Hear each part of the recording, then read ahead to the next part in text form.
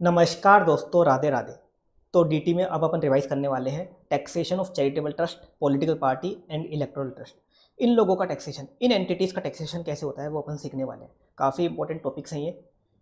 इसमें जो main taxation आता है, इस चैप्टर से वो आता है चैरिटेबल और रिलीजियस ट्रस्ट का टैक्सेशन कैसे होता है, उसके ऊपर क्वेश्चन आता है। लगभग टेन मार्क्स का इसका वेटेज होता है। या तो आपको चैरिटेबल या रिलीजियस ट्रस्ट की टोटल इनकम निकालनी होती है। टोटल इनकम निकाल के टैक्स निकालना होता है। या चैरिटेबल और रिलीजियस ट्रस्ट अगर कुछ कांड कर देते हैं तो इनके ऊपर एक लगता है एग्जिट टैक्स। उसका क्वेश्चन आ जाता है। तो मेन चैप्टर है इंपॉर्टेंट चैप्टर है चैरिटेबल और रिलीजियस ट्रस्ट इसमें सबसे ज़्यादा इंपॉर्टेंट है। पॉलिटिकल पार्टी इलेक्ट्रल ट्रस्ट तो फिर भी इतना पूछा नहीं जाता, आता ही नहीं है। मेन इसमें आता है जो क्या आता है चैरिटेबल और रिलीजियस ट्रस्ट का टैक्सेशन अब चैरिटेबल और रिलीजियस ट्रस्ट का जो टैक्सेशन होता है, उसके बारे में आपको बता रखा है section eleven to thirteen eleven twelve thirteen ये तीन सेक्शन अप्लाई होते हैं। चैरिटेबल और रिलीजियस ट्रस्टी जो अपन इनकम निकालते हैं ना इनकम निकालने के लिए क्या फॉलो करते हैं सेक्शन इलेवन ट्वेल्व थर्टीन ये फॉलो करते हैं। बाकी आप सारे सेक्शन इनकम टैक्स के भूल जाना। तो पाँच हेड होते हैं ना सैलरी की इनकम हाउस प्रॉपर्टी की इनकम बिज़नेस की इनकम कैपिटल गेन की इनकम अदर सोर्स की इनकम वो सब भूल जाना। वो कुछ काम के नहीं होते। सेक्शन इलेवन ट्वेल्व थर्टीन ये अपन को फॉलो करके चैरिटेबल और रिलीजियस ट्रस्ट की अपन को इनकम निकालनी होती। है अब सबसे पहले अपन देखेंगे चैरिटेबल ट्रस्ट और रिलीजियस ट्रस्ट होते क्या हैं? तो सबसे पहले अपन उसमें देखने वाले चैरिटेबल ट्रस्ट क्या होते हैं? तो इनकम टैक्स में कुछ ऑब्जेक्टिव बता रखे हैं। अगर किसी ट्रस्ट का उनमें से कोई सा भी ऑब्जेक्टिव है, वो बन जाता है चैरिटेबल ट्रस्ट क्या ऑब्जेक्टिव बता रखे हैं? अगर किसी ट्रस्ट का ऑब्जेक्टिव गरीबों की मदद करने का है रिलीफ ऑफ़ पुअर है, वो बन जाएगा चैरिटेबल ट्रस्ट किसी ट्रस्ट का ऑब्जेक्टिव एजुकेशन देने का है, शिक्षा देने का है मतलब स्कूल है कॉलेज है यूनिवर्सिटी है, ये बन जाएँगे चैरिटेबल ट्रस्ट ध्यान देना, यहाँ पे कोचिंग इंस्टीट्यूट नहीं आएगा। कोचिंग इंस्टीट्यूट जो है, वो इसमें कवर नहीं होगा। वो उसको चैरिटेबल ट्रस्ट नहीं मानते। वो एजुकेशन वाले पॉइंट में नहीं आएगा। अगला बता रखा है, किसी ट्रस्ट का ऑब्जेक्टिव योग की शिक्षा देने का है। योग की शिक्षा देने का है, योग सिखाने का है, वो बन जाएगा चैरिटेबल ट्रस्ट अगला है, किसी ट्रस्ट का ऑब्जेक्टिव मेडिकल रिलीफ देने का। मेडिकल रिलीफ मतलब हॉस्पिटल है या नर्सिंग होम है, ये सब क्या बन जाएँगे?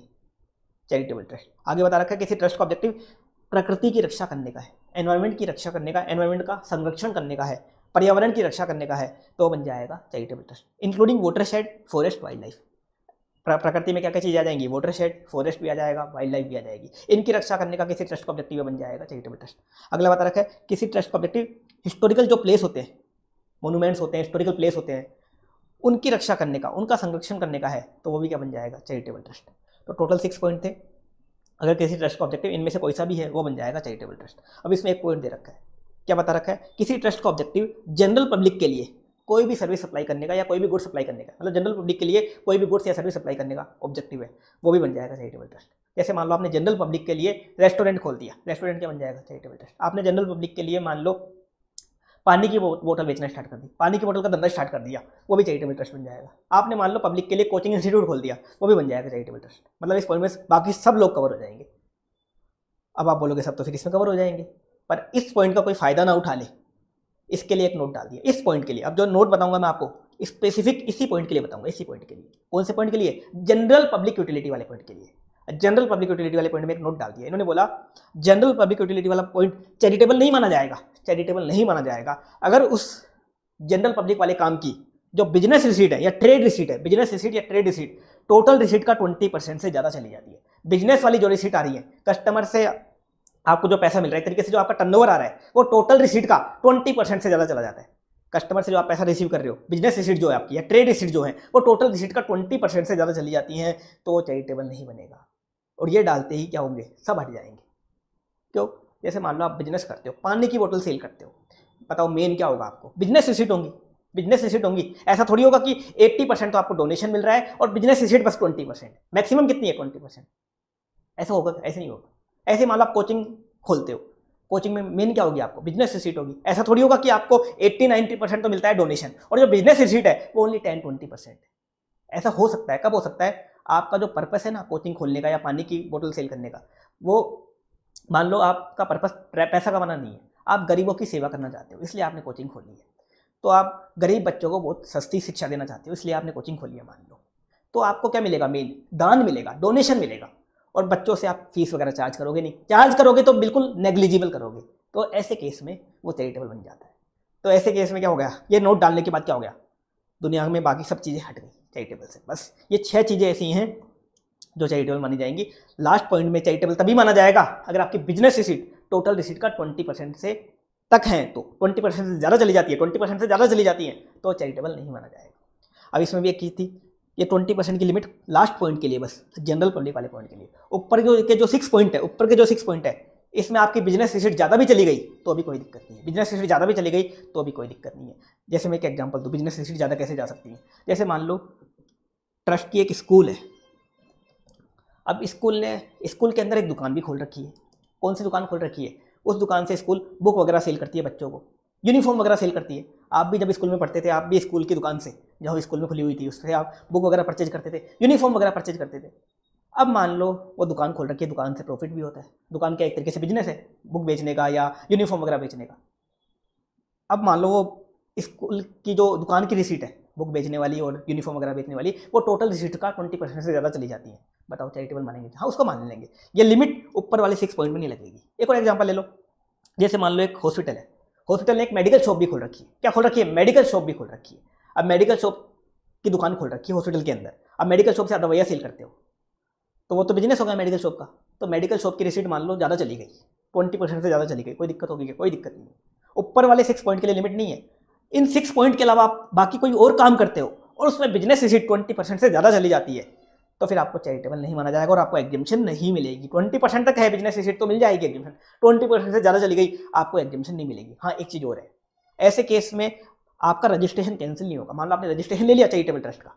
आपका कोचिंग इंस्टीट्यूट था, आपने चैरिटेबल ट्रस्ट में रजिस्ट्रेशन करवा लिया। और आपकी बिज़नेस रिसीट ट्वेंटी परसेंट से ज़्यादा चली गई। तो आपको एग्जामेशन तो मिलेगी नहीं, लेकिन आपका रजिस्ट्रेशन कैंसिल नहीं किया जाएगा। रजिस्ट्रेशन कैंसिल नहीं किया जाएगा। रजिस्ट्रेशन आप कंटिन्यू रख सकते हो। हाँ अगली बार मान लो अगले साल आपका बिज़नेस रिसीट ट्वेंटी परसेंट हो जाती है। या कम हो जाती हैं तो ले लो एग्जामेशन तो ऐसा है। तो लास्ट पॉइंट में ओनली वो ही कवर होंगे जिनका पर्पस क्या है मेन पर्पस सेवा करना। पैसा कमाना नहीं, सेवा करना। जिनको मेन क्या मिल रहा है डोनेशन मिल रहा है। बिज़नेस नहीं कर रहे वो डोनेशन मिल रहा है। एट्टी परसेंट क्या मिल रहा है डोनेशन मिल रहा है। एक तरीके से ये मतलब हुआ इसका। अब अपन एक सेक्शन देखने वाले हैं जो अपने आगे काम आएगा section ten twenty three C एक section ten twenty three C में एक एग्जामेशन दे रखी है। किसके ऊपर अप्लाई होता है ये? एक तो एजुकेशनल इंस्टीट्यूशन और एक मेडिकल इंस्टीट्यूशन एजुकेशनल इंस्टीट्यूशन मतलब school college university school college university और मेडिकल इंस्टीट्यूशन मतलब हॉस्पिटल वगैरह नर्सिंग होम वगैरह.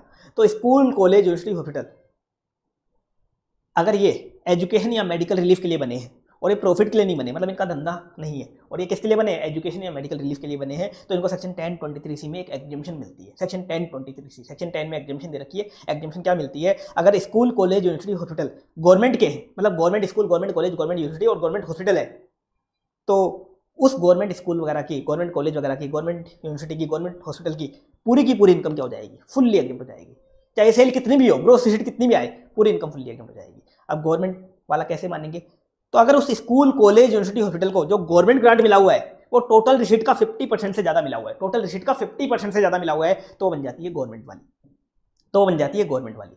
और अगर गवर्नमेंट स्कूल वाली है, या गवर्नमेंट कॉलेज है, गवर्नमेंट यूनिवर्सिटी, गवर्नमेंट हॉस्पिटल है तो उसकी इनकम क्या हो जाएगी? पूरी की पूरी एग्ज़ाम हो जाएगी। पहला पॉइंट दूसरा पॉइंट कोई मान लो private school private college private university private hospital है। आप बोलोगे, इनकी भी इनकम एग्ज़ाम होती है कि हाँ इनकी भी होती है। आप बोलोगे, ये तो धंधा करते हैं। दिखाते तो ये हैं कि हम धंधा करने के लिए नहीं बने। हम एजुकेशन देने के लिए मेडिकल रिलीफ देने के लिए बने। हाँ वैसे धंधा करते हैं प्रैक्टिकल लाइफ में। पैसा कमाते हैं ये। इनका काम ये नहीं होता कि एजुकेशन दें या मेडिकल रिलीफ करें। ये तो सेकेंडरी है। मेन ऑब्जेक्टिव क्या है इनका? पैसा कमाना होता है। पर ये एग्जामेशन ले लेते हैं। क्योंकि ये अपने कागजों में क्या दिखाते हैं? हम तो एजुकेशन और मेडिकल रिलीफ देने के लिए बने हैं। हमारा ऑब्जेक्टिव प्रॉफिट कमाना नहीं है। तो ये भी एग्जामेशन लेते हैं। अब इनको एग्जामेशन कैसे मिलती है? अगर इन प्राइवेट वालों की gross receipt aggregate receipt aggregate gross receipt five crore तक है प्रीवियस ईयर में तो तो इनकी इनकम भी क्या हो जाएगी फुल्ली एग्ज़ाम अपन इनकम नहीं देखेंगे ग्रोस रिसीट उनको अपने कस्टमर से जो रिसीट मिल रही है, वो ग्रोस रिसीट देखेंगे, वो फाइव करोड़ तक है तो फुल्ली एग्ज़ाम और फाइव करोड़ से ज़्यादा चली गई तो एग्ज़ाम नहीं होगी। फाइव करोड़ तक है तो फुल्ली एग्ज़ाम हो जाएगी। अब फाइव करोड़ की एग्रीगेट करेंगे। एग्रीगेट कैसे करेंगे? मान लो एक ट्रस्ट है, मान लो। उसकी एक स्कूल है। थ्री करोड़ रिसीट है, फुल्ली एग्ज़ाम कर देंगे। ठीक है। उस ट्रस्ट की दो स्कूल है स्कूल वन स्कूल टू दूसरी स्कूल की भी रिसीट थ्री करोड़ है। तो बताओ एग्ज़ाम करोगे क्या? एग्रीगेट करो six three plus three six crore कुछ एग्ज़ाम नहीं करेंगे, कुछ भी एग्ज़ाम नहीं करेंगे फाइव करोड़ से ज़्यादा चला गया एग्ज़ाम नहीं करेंगे फुल्ली एग्ज़ाम नहीं करेंगे. मान लो इस ट्रस्ट की एक स्कूल है और एक है हॉस्पिटल एक है हॉस्पिटल स्कूल की रिसीट थ्री करोड़ हॉस्पिटल की रिसीट भी थ्री करोड़ है. तो बताओ एग्जामेशन करोगे क्या? अलग अलग चेक करोगे क्या? नहीं एग्रीगेट करेंगे. उस एक ट्रस्ट की या उस एक बंदे की, जितनी भी स्कूल है, जितनी भी कॉलेज है, जितनी भी यूनिवर्सिटी है, जितने भी हॉस्पिटल है, सभी का एग्रीगेट करके देखेंगे. अगर फाइव करोड़ तक है तो फुल्ली एग्ज़ाम फाइव करोड़ से ज़्यादा हो गया तो एग्ज़ाम नहीं होगा. देखो सिक्स करोड़ हो गया एग्ज़ाम नहीं होगा एग्ज़ाम नहीं होगा। तो उनके केस में क्या होगा? जिनका फाइव करोड़ से ज़्यादा चला गया तो वो पॉइंट नंबर थ्री में आ जाएँगे। तो कोई भी स्कूल कॉलेज यूनिवर्सिटी हॉस्पिटल है, जिनकी एग्रीगेट रिसीट फाइव करोड़ से ज़्यादा चली गई तो उनको भी एग्जामेशन मिल जाएगी, पर उनको क्या करना पड़ेगा? अप्रूवल लेना पड़ेगा। उनको एक तरीके से रजिस्ट्रेशन लेना पड़ेगा। रजिस्ट्रेशन या अप्रूवल लेना पड़ेगा। रजिस्ट्रेशन या अप्रूवल लेना पड़ेगा, और उनको जो एग्जामेशन मिलेगी, कैसे मिलेगी? फुल्ली एग्ज़ाम वाली नहीं मिलेगी। सेक्शन इलेवन वाली एग्जामेशन मिलेगी। जो चैरिटेबल ट्रस्ट को मिलती है ना, वो एग्जामेशन मिलेगी सेक्शन इलेवन में। बता रखा है। फुल्ली एग्ज़ाम वाला नहीं मिलेगा सेक्शन इलेवन अभी पढ़ेंगे ना, वो वाली एग्जामेशन मिलेगी। तो जो गवर्नमेंट वाले हैं और जिनकी रिसीट फाइव करोड़ तक है, उनकी तो फुल्ली एग्ज़ाम हो जाएगी इनकम ना तो उनको रजिस्ट्रेशन करवाना, ना ही अप्रूवल लेना। ऐसे ही फुल्ली एग्ज़ाम कर लो। ना रजिस्ट्रेशन करवाओ, ना अप्रूवल लो। ऐसे ही आप क्या कर लो फुल्ली एग्ज़ाम लेकिन बाकी जो एजुकेशनल या मेडिकल इंस्टीट्यूशन है, उनको भी एग्जामेशन मिल जाएगी, बस उनको क्या करना पड़ेगा? सेक्शन इलेवन का क्या बोलते हैं, उनको अप्रूवल या रजिस्ट्रेशन लेना पड़ेगा और उनको जो मिलेगी, पूरी नहीं मिलेगी सेक्शन इलेवन वाली मिलेगी। अब सेक्शन इलेवन वाली कैसे मिलती है वो अपन देख लेंगे और ध्यान देना, ये सेक्शन टेन ट्वेंटी थ्री किस पे लगता है? एक तो एजुकेशनल इंस्टीट्यूशन और medical institution school college university hospital इन्हीं की अपन क्या करते हैं? ये जो एग्ज़ाम करते हैं ना, इन्हीं की करते हैं यहाँ पे। Section ten twenty three C मतलब टेन ट्वेंटी थ्री सी में एक ये एजुकेशन वाला पॉइंट कवर है और एक ये मेडिकल रिलीफ वाला कवर है। इनको एक एक्स्ट्रा बेनिफिट दे दिया। क्या एक्स्ट्रा बेनिफिट दे दिया? गवर्नमेंट वाले हैं तो फुल्ली एग्ज़ाम और अगर प्राइवेट वाले हैं और फाइव करोड़ तक की सीट है तो भी फुल्ली एग्ज़ाम हाँ फाइव करोड़ से ज़्यादा है तो तो फिर वो सेक्शन इलेवन वाला, जैसे बाकी लोगों को मिलेगा ना, बाकी योग वाले को एनवायरमेंट वाले को, या रिलीफ ऑफ़ पुअर वाले को, बाकी लोगों को मिलेगा, वैसा ही मिलेगा। वैसा कैसे मिलेगा, वो अपन पढ़ने वाले हैं सेक्शन इलेवन सेक्शन इलेवन में बता रखा है चैरिटेबल और रिलीजियस ट्रस्ट को कौन कौन सी इनकम होती है। मैंने बताया चैरिटेबल ट्रस्ट क्या होते हैं, वो तो मैंने आपको ऑलरेडी बता दिया। कुछ ऑब्जेक्टिव बता रखे उनमें से कोई सा भी ऑब्जेक्टिव है। एक होता है रिलीजियस ट्रस्ट इसकी कोई डेफिनेशन नहीं दे रखी। रिलीजियस ट्रस्ट मतलब होता है मंदिर, मस्जिद, गुरुद्वारा चर्च वगैरह, ये आते हैं रिलीजियस ट्रस्ट में। कोई ट्रस्ट खाली चैरिटेबल होते हैं, कोई ट्रस्ट खाली रिलीजियस होते हैं और कोई ट्रस्ट ऐसे भी होते हैं जो चैरिटेबल और रिलीजियस दोनों है। जैसे मान लो एक ट्रस्ट है, उसकी स्कूल भी है और टेंपल भी है। क्या हो गया है trust? Charitable and religious, charitable and religious. तो चैरिटेबल ट्रस्ट का क्वेश्चन भी आ सकता है, रिलीजियस ट्रस्ट का भी आ सकता है और चैरिटेबल एंड रिलीजियस, ऐसा कोई क्वेश्चन भी आ सकता है।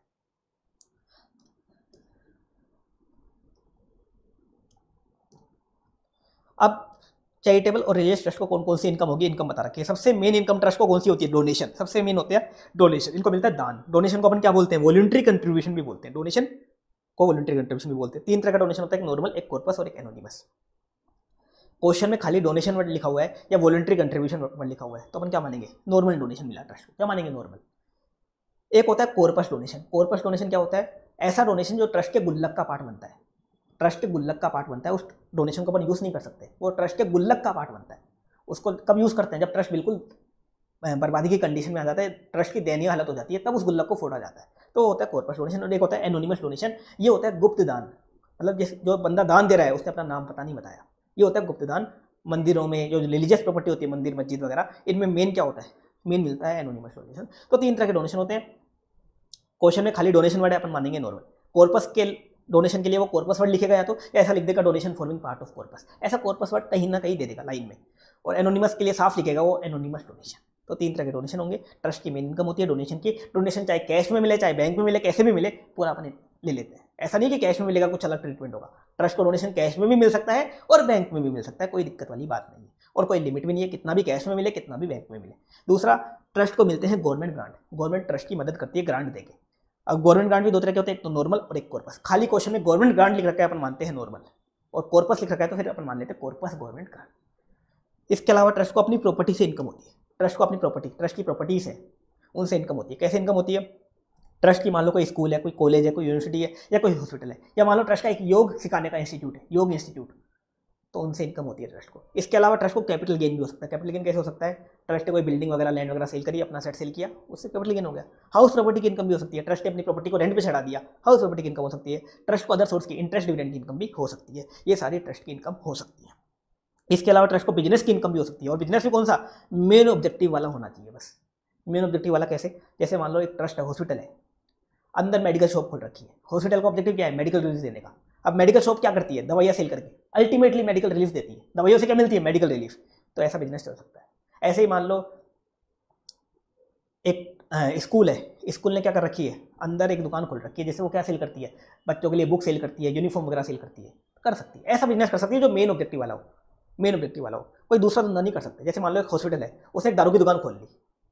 एक ट्रस्ट है जिसका हॉस्पिटल है, उसने दारू की दुकान खोल ली। एक ट्रस्ट है जिसकी स्कूल है, उसने दारू की दुकान खोल ली। बताओ ऐसा हो सकता है क्या? ऐसा नहीं कर सकता। अगर ट्रस्ट ऐसा करता है तो आगे जाके पता पड़ेगा रजिस्ट्रेशन कैंसिल हो जाता है। दूसरा धंधा नहीं कर सकते आप। जो आपका मेन ऑब्जेक्टिव है, उसी के रिगार्डिंग कोई बिज़नेस करना चाहो तो आप कर सकते हो। वो बिज़नेस की इनकम भी आपकी हो सकती है ट्रस्ट की। इसके अलावा ट्रस्ट को टेन वन वाली इनकम टेन वन वाली कौन सी? एग्रीकल्चरल इनकम टेन वन में कौन सी इनकम है? एग्रीकल्चर इनकम भी हो सकती है और टेन ट्वेंटी थ्री सी तो अपने देख लिया। School college university hospital trust की ये वाली इनकम भी हो सकती है। ये सब ट्रस्ट की इनकम होती है। अब ट्रस्ट की इनकम पे टैक्स कैसे लगेगा? वो एक एक करके देख लेते हैं। सबसे पहले कॉर्पस डोनेशन ट्रस्ट को क्या मिला? कॉर्पस डोनेशन तो क्या होगा कॉर्पस डोनेशन पूरा का पूरा अपन एग्ज़ाम कर देंगे। बस उसके लिए कंडीशन है। कॉर्पस डोनेशन को आपको सेफ़ मोड से जमा करवाना है, क्योंकि वो ट्रस्ट के गुल्लक का पार्ट बनता है। तो कॉर्पस डोनेशन को आपको eleven five section eleven five में कुछ मोड बता रखे इलेवन फाइव अभी आएगा तो पता पड़ेगा आपको। कुछ सेफ़ मोड बता रखे कि बैंक में एफडी करवा दो। या कुछ सेफ़ जगह बता रखी है, वहाँ वहाँ इन्वेस्ट कर दो। वहाँ डिपॉजिट कर दो। तो कॉर्पस डोनेशन को आपको खर्च नहीं करना, गुल्लक में डालना है। बैंक में एफडी करवा दो आप। तो सेफ़ मोड में जमा करवा दिया तो ठीक है फुल्ली एग्ज़ाम हो जाएगा।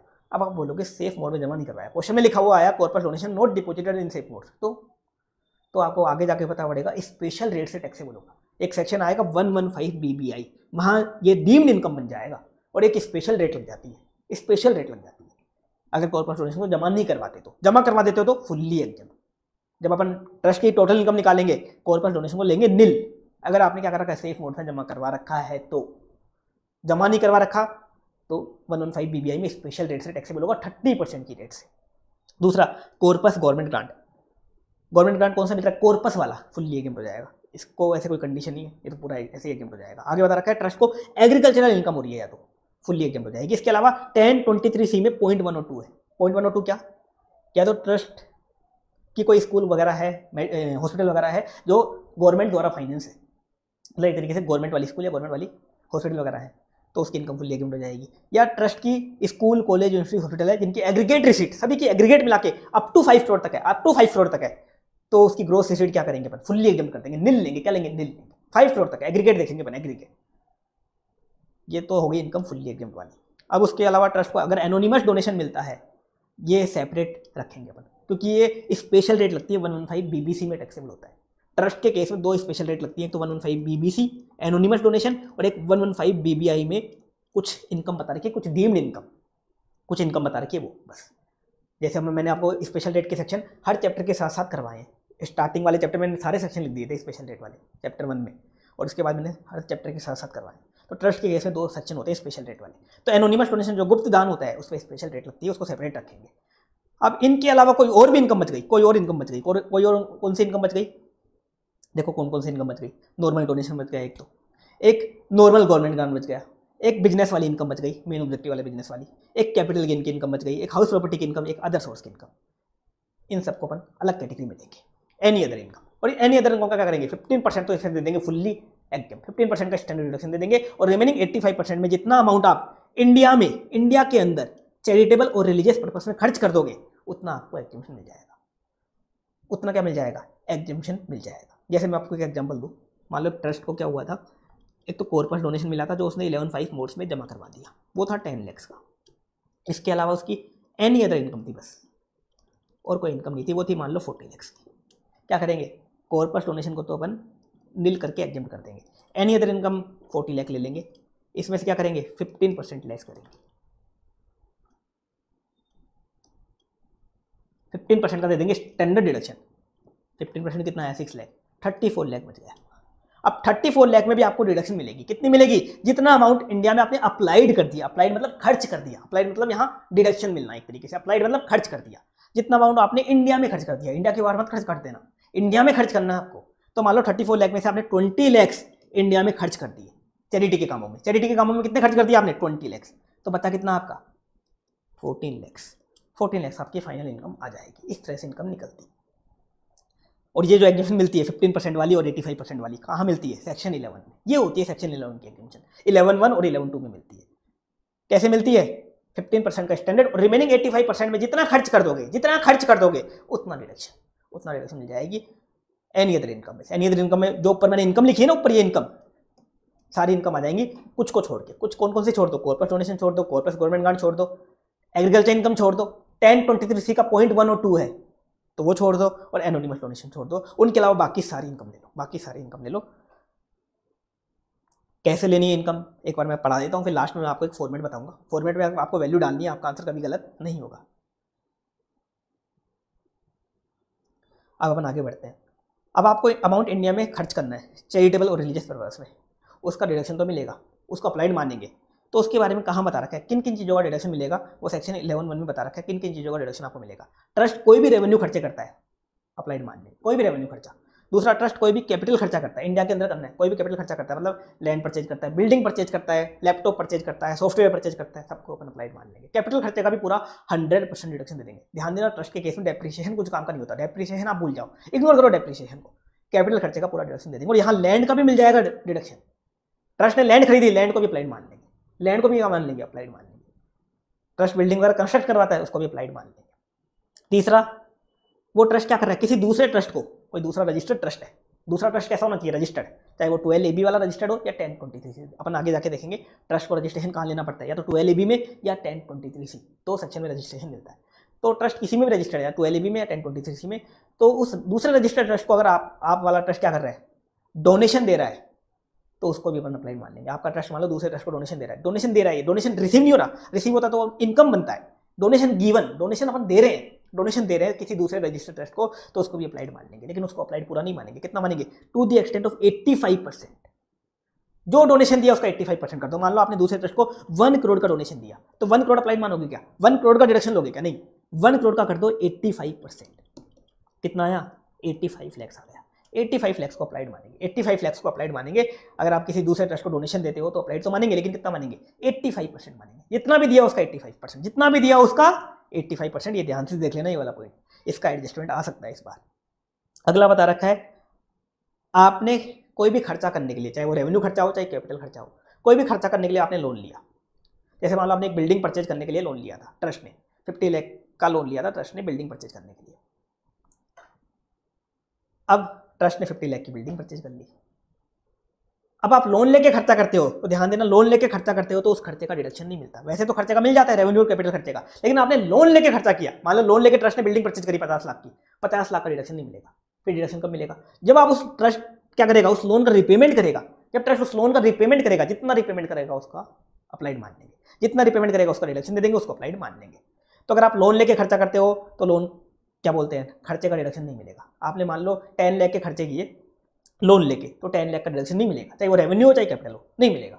लेकिन जब आप उस लोन का रिपेमेंट करोगे लोन का रिपेमेंट करोगे तो जो रिपेमेंट किया, उसको अपन मान लेंगे अप्लाइड मान लेंगे। बस एक कंडीशन है रिपेमेंट आपको फाइव ईयर के अंदर अंदर करना है। रिपेमेंट आपको फाइव ईयर के अंदर अंदर करना है। रिपेमेंट आपको फाइव ईयर के अंदर अंदर करना है। अब आ जाओ आगे। कुछ स्पेशल बातें देख लेते हैं। आपने असेट की कॉस्ट को अप्लाइड मान लिया। मैंने बताया था कैपिटल खर्चे का पूरा रिडक्शन एक साथ ले लो आप। तो उस असेट में डेप्रिसिएशन भूल जाओ।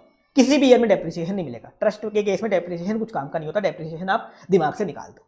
तो असेट को अपन अप्लाइड मान मान रहे हैं डेप्रिसिएशन भूल जाओ। किसी भी ईयर में नहीं मिलेगा। ऐसा नहीं कि नेक्स्ट ईयर मिल जाएगा, किसी भी ईयर में नहीं मिलेगा। जब पूरे असेट ही आप अप्लाइड मान चुके हैं डेप्रिसिएशन भूल जाओ। आगे बता रखा है, आपने कॉर्पस डोनेशन से कोई खर्चा किया, उसे अप्लाइड नहीं मानेंगे। कॉर्पस डोनेशन जो होता है, आपको मिला था मान लो। कॉर्पस डोनेशन को आपको गुल्लक में रखना होता है। वो खर्च नहीं करना होता। अगर आपने खर्च कर दिया या कहीं और इन्वेस्ट कर दिया तो वो बन जाता है वन वन फाइव बी में डीम्ड इनकम तो आप उसको खर्च नहीं करना, उसको चुपचाप गुल्लक में पटक पटक के रखो। अगर आपने उससे खर्चा कर दिया, क्या मान लेंगे? अप्लाइड नहीं मानेंगे। अप्लाइड नहीं मानेंगे उसको। आगे बता रखा है, आप दूसरे ट्रस्ट को डोनेशन देते हो तो अप्लाइड मान लेते हैं। कितना अप्लाइड मान लेते हैं अपन? 85 परसेंट अप्लाइड मान लेते हैं। जितना डोनेशन दिया, उसका 85 परसेंट। आप लोग 85 परसेंट क्यों मानते हैं? क्योंकि आपको पहले भी क्या मिल चुका? 15 परसेंट का पूरा एग्जामेशन मिल चुका। इस कारण अब आप डोनेशन दे रहे हो तो उसको 85 परसेंट मानेंगे। क्योंकि दूसरा ट्रस्ट भी रजिस्टर्ड है। उसको डोनेशन मिल रहा है, वो भी अपनी इनकम दिखाएगा फिफ्टीन परसेंट वो भी ले लेगा डिडक्शन ऐसे तो क्या हो जाएगा बार बार डिडक्शन मिलती जाएगी। तो इन्होंने एट्टी फाइव परसेंट की लिमिट लगा दी। लेकिन आप दूसरे ट्रस्ट को क्या दे रहे हो? कोर्पस डोनेशन दे रहे हो। दूसरे रजिस्टर्ड ट्रस्ट को, जो दूसरा ट्रस्ट रजिस्टर्ड है, उसको आप कॉर्पस डोनेशन दे रहे हो तो उसको अपन अप्लाइड नहीं मानेंगे, उसको अप्लाइड नहीं मानेंगे। कॉर्पस डोनेशन दूसरे ट्रस्ट को देते हो तो उसको अप्लाइड नहीं मानेंगे। अप्लाइड क्यों नहीं मानेंगे? दूसरे ट्रस्ट को मान लो कॉर्पस डोनेशन आपने दिया। दूसरा ट्रस्ट क्या करेगा? कॉर्पस डोनेशन को सेफ़ मोड में पटक देगा। और फुल्ली एग्जिट करवा लेगा। वो भी तो रजिस्टर्ड है फुल्ली एग्जिट करवा लेगा उसके एंड से इनकम टैक्सेबल भी नहीं हुई और आपको भी एग्जिट मिल गई। दिक्कत ही दिक्कत हो जाएगी तो दमादम। तो इन्होंने बोला, उसको अप्लाइड नहीं मानेंगे। तो नॉर्मल डोनेशन देते हो तो ठीक है।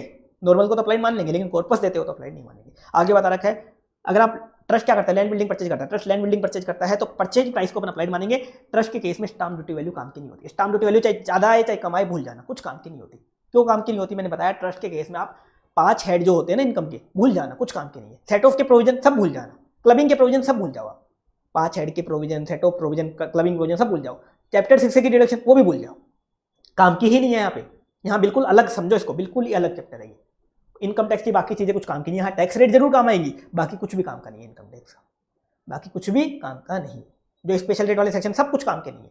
यहाँ पे जो काम आएगा, एक तो अपने काम आएगा section eleven twelve thirteen trust के लिए। एक ट्रस्ट पे क्या लगता है? स्लैब लगता है। ट्रस्ट की जो इनकम आती है उसमें स्लैब रेट लगती है, बस वो काम का बाकी कुछ काम का नहीं है इनकम टैक्स को बाकी भूल जाओ आप। तो बाकी सेक्शन काम के ही नहीं। ना तो ट्रस्ट के अदर सोर्स के प्रोविज़न लगते हैं ना वो प्रोविज़न लगते। हैं ट्रस्ट की इनकम ऐसा नहीं करते अपन, पाँच हेड में निकालते हैं, फिर क्लबिंग करते हैं, फिर सेट ऑफ़ करते हैं। वो कुछ नहीं करते वहाँ। यहाँ अलग तरीका चलता है।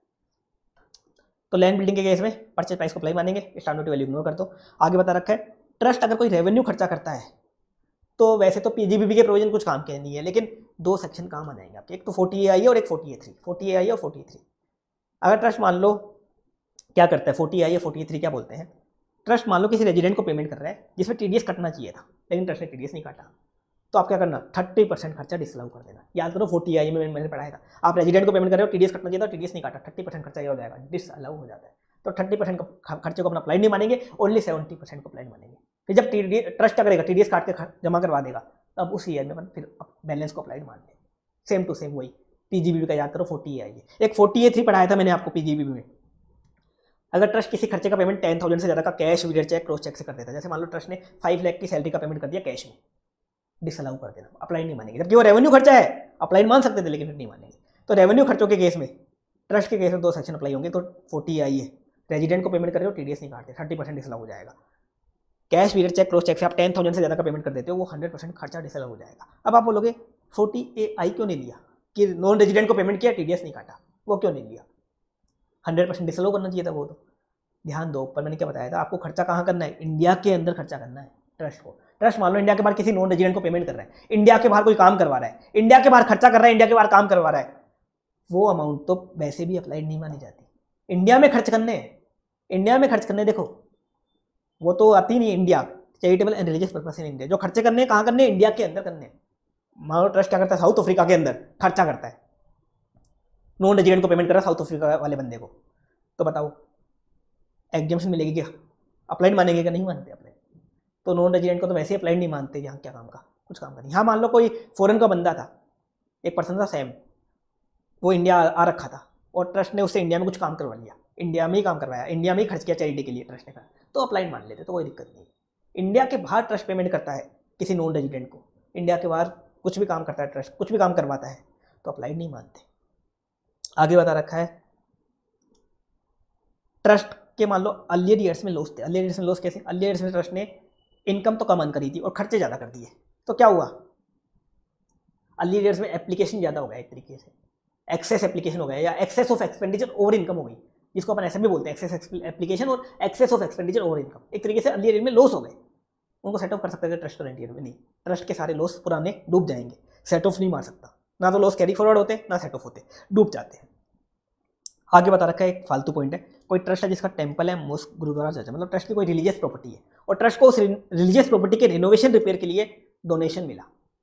वो नॉर्मल डोनेशन था। उसको नॉर्मल होते हुए भी अपन क्या मान सकते हैं? कॉर्पस मान सकते हैं। तो कोई ट्रस्ट क्या है? ट्रस्ट के पास टेंपल है मोस्क है, गुरुद्वारा चर्च है। कोई रिलीजियस प्रॉपर्टी है। और उस रिलीजियस प्रॉपर्टी के रिनोवेशन रिपेयर के लिए ट्रस्ट को क्या मिला? दान मिला। नॉर्मल डोनेशन था नॉर्मल डोनेशन था कॉर्पस नहीं था। कॉर्पस वाला नहीं था नॉर्मल डोनेशन था। नॉर्मल होते हुए भी उसको कॉर्पस माना जा सकता है। कॉर्पस माना जा सकता है और पूरा एग्ज़ाम करवाया जा सकता है। क्योंकि कॉर्पस डोनेशन तो पूरा एग्ज़ाम हो ही जाता है, बस आपको सेफ़ मोड में जमा करना होता है। बस कंडीशन है उसके लिए। आपको एक तो उसको सेफ़ मोड में जमा करना है सेपरेटली और आगे जब उसको खर्च करो तो रिनोवेशन रिपेयर पे खर्च कर देना। रिनोवेशन रिपेयर पे आगे खर्च करना है। तो वो नॉर्मल होते हुए भी कॉर्पस माना जाएगा और वो फुल्ली एग्ज़ाम हो जाएगा। फुल्ली एग्ज़ाम हो जाएगा, फालतू पॉइंट का ज़्यादा काम का नहीं था। और लास्ट पॉइंट काम का है ट्रस्ट जो भी अमाउंट पे करेगा मतलब जो भी खर्चा करेगा, उसको अप्लाई तो माना जाएगा, लेकिन कैसे? पेड बेसिस पे। ट्रस्ट अगर एक्चुअल में पेमेंट कर देता है तो ही अप्लाई मानेंगे तो ही डिडक्शन देंगे। चाहे ट्रस्ट अक्रूवल सिस्टम फॉलो करे, चाहे कैश सिस्टम फॉलो करे। ट्रस्ट कैश सिस्टम भी फॉलो कर सकता है। ट्रस्ट कोई कंपनी नहीं होता। ट्रस्ट क्या होता है? Individual H U F A O P B Y artificial juridical person इस कैटेगरी में आता है। आर्टिफिशियल जुडिकल पर्सन होता है रजिस्टर्ड ट्रस्ट तो इस कैटेगरी में आता है तो वो कैश सिस्टम भी फॉलो कर सकता है। तो कैश सिस्टम फॉलो करे, चाहे अक्रूवल सिस्टम फॉलो करे डिडक्शन कैसे मिलेगी? पेड बेसिस पे। ड्यू बेसिस पे नहीं मिलेगी। चाहे अक्रूवल सिस्टम फॉलो करे। कैश सिस्टम में तो वैसे भी पेड बेसिस होता है। लेकिन अक्रूवल सिस्टम में भी क्या होगा? पेड बेसिस पे। ट्रस्ट अगर पेमेंट कर देगा करंट ईयर में खर्चेगा तो डिडक्शन मिल जाएगी। आर की ड्यू डेट तक करेगा तो। तो नहीं।